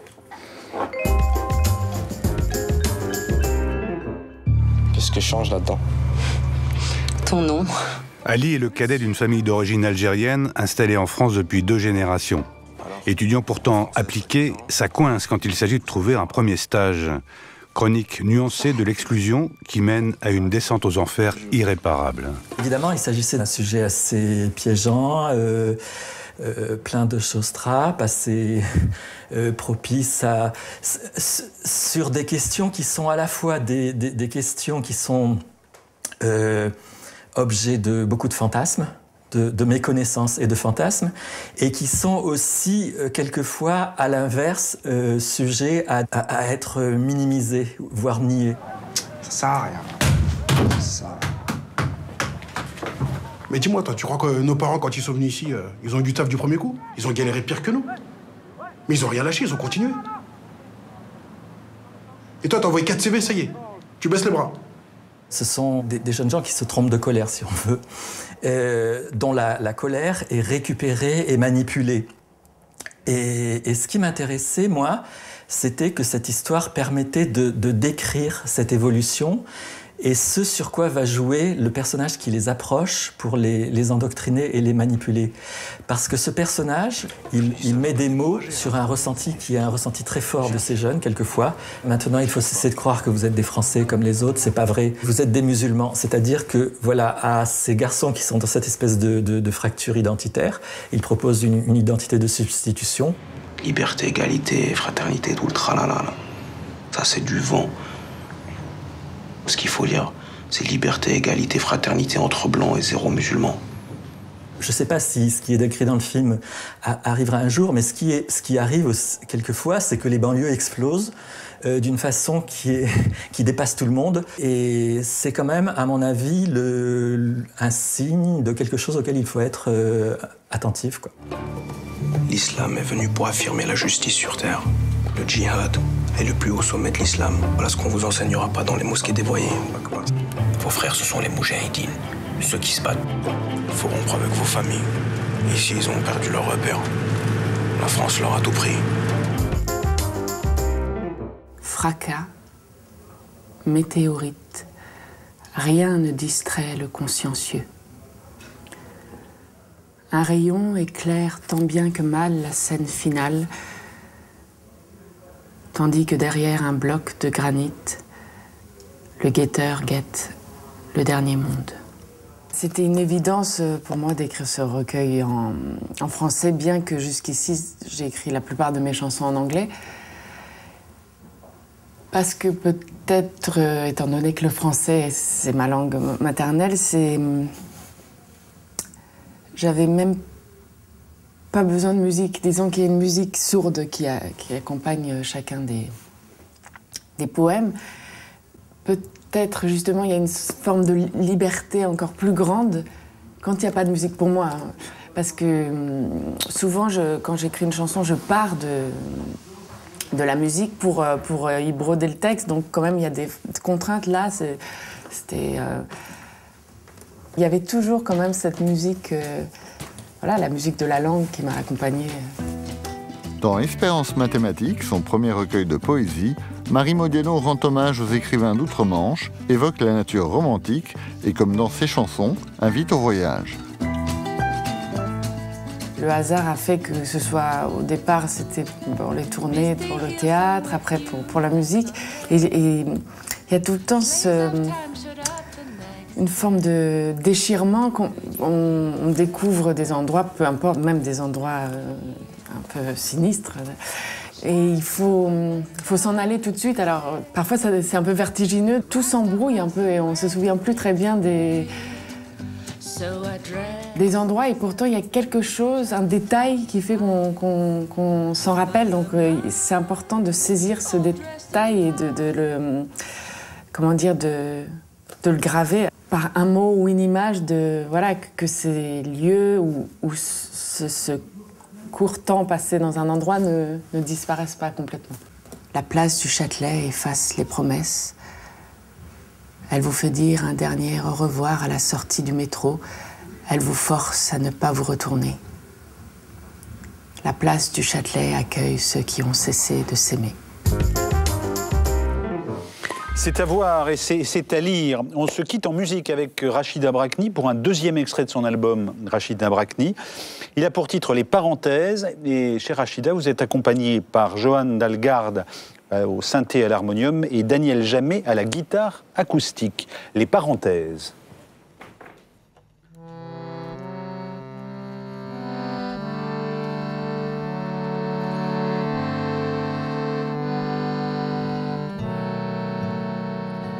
Les parenthèses d'une nuit d'été, c'est du trapèze.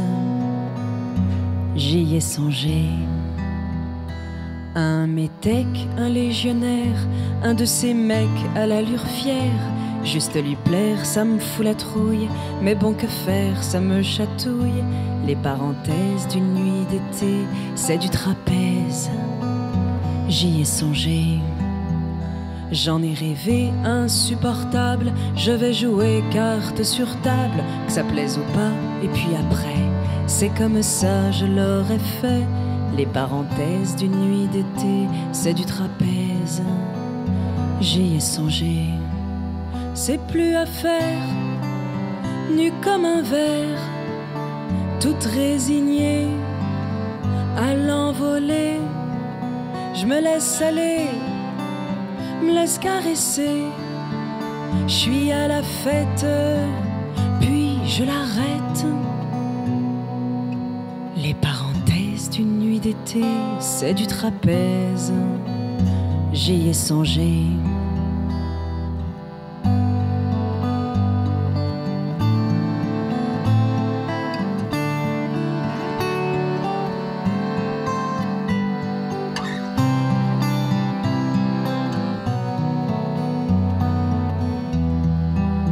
C'est pas de bol, se couper les ailes en plein envol au septième ciel. Mais c'est pas moi, c'est comme ça. Faites-le pour moi, ça passera, ça passera.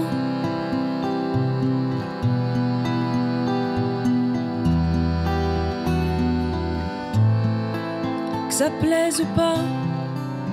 Et puis après, c'est comme ça, je l'aurais fait. C'est pas pour moi, c'est comme ça. Faites-le pour moi, ça passera. Les parenthèses d'une nuit d'été, c'est du trapèze. J'y ai songé.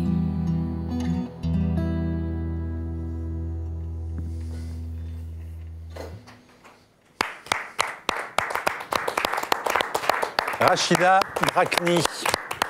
Merci, merci Rachida et bonne, bonne tournée donc. Merci.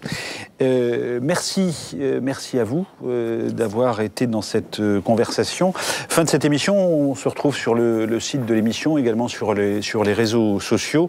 La peine de mort n'a toujours pas été abolie aux États-Unis, notamment euh, par ailleurs, euh, il y a toujours surpopulation dans les prisons françaises. Bonsoir, bonne nuit, à la semaine prochaine.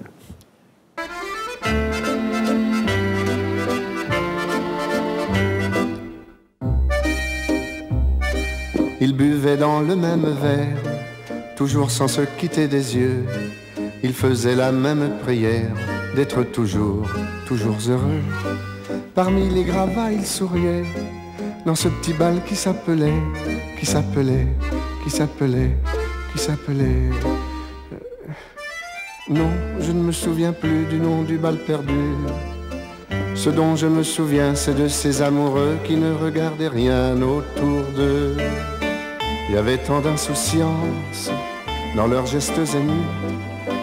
Alors quelle importance le nom du bal perdu? Non, je ne me souviens plus du nom du bal perdu. Ce dont je me souviens, c'est qu'ils étaient heureux.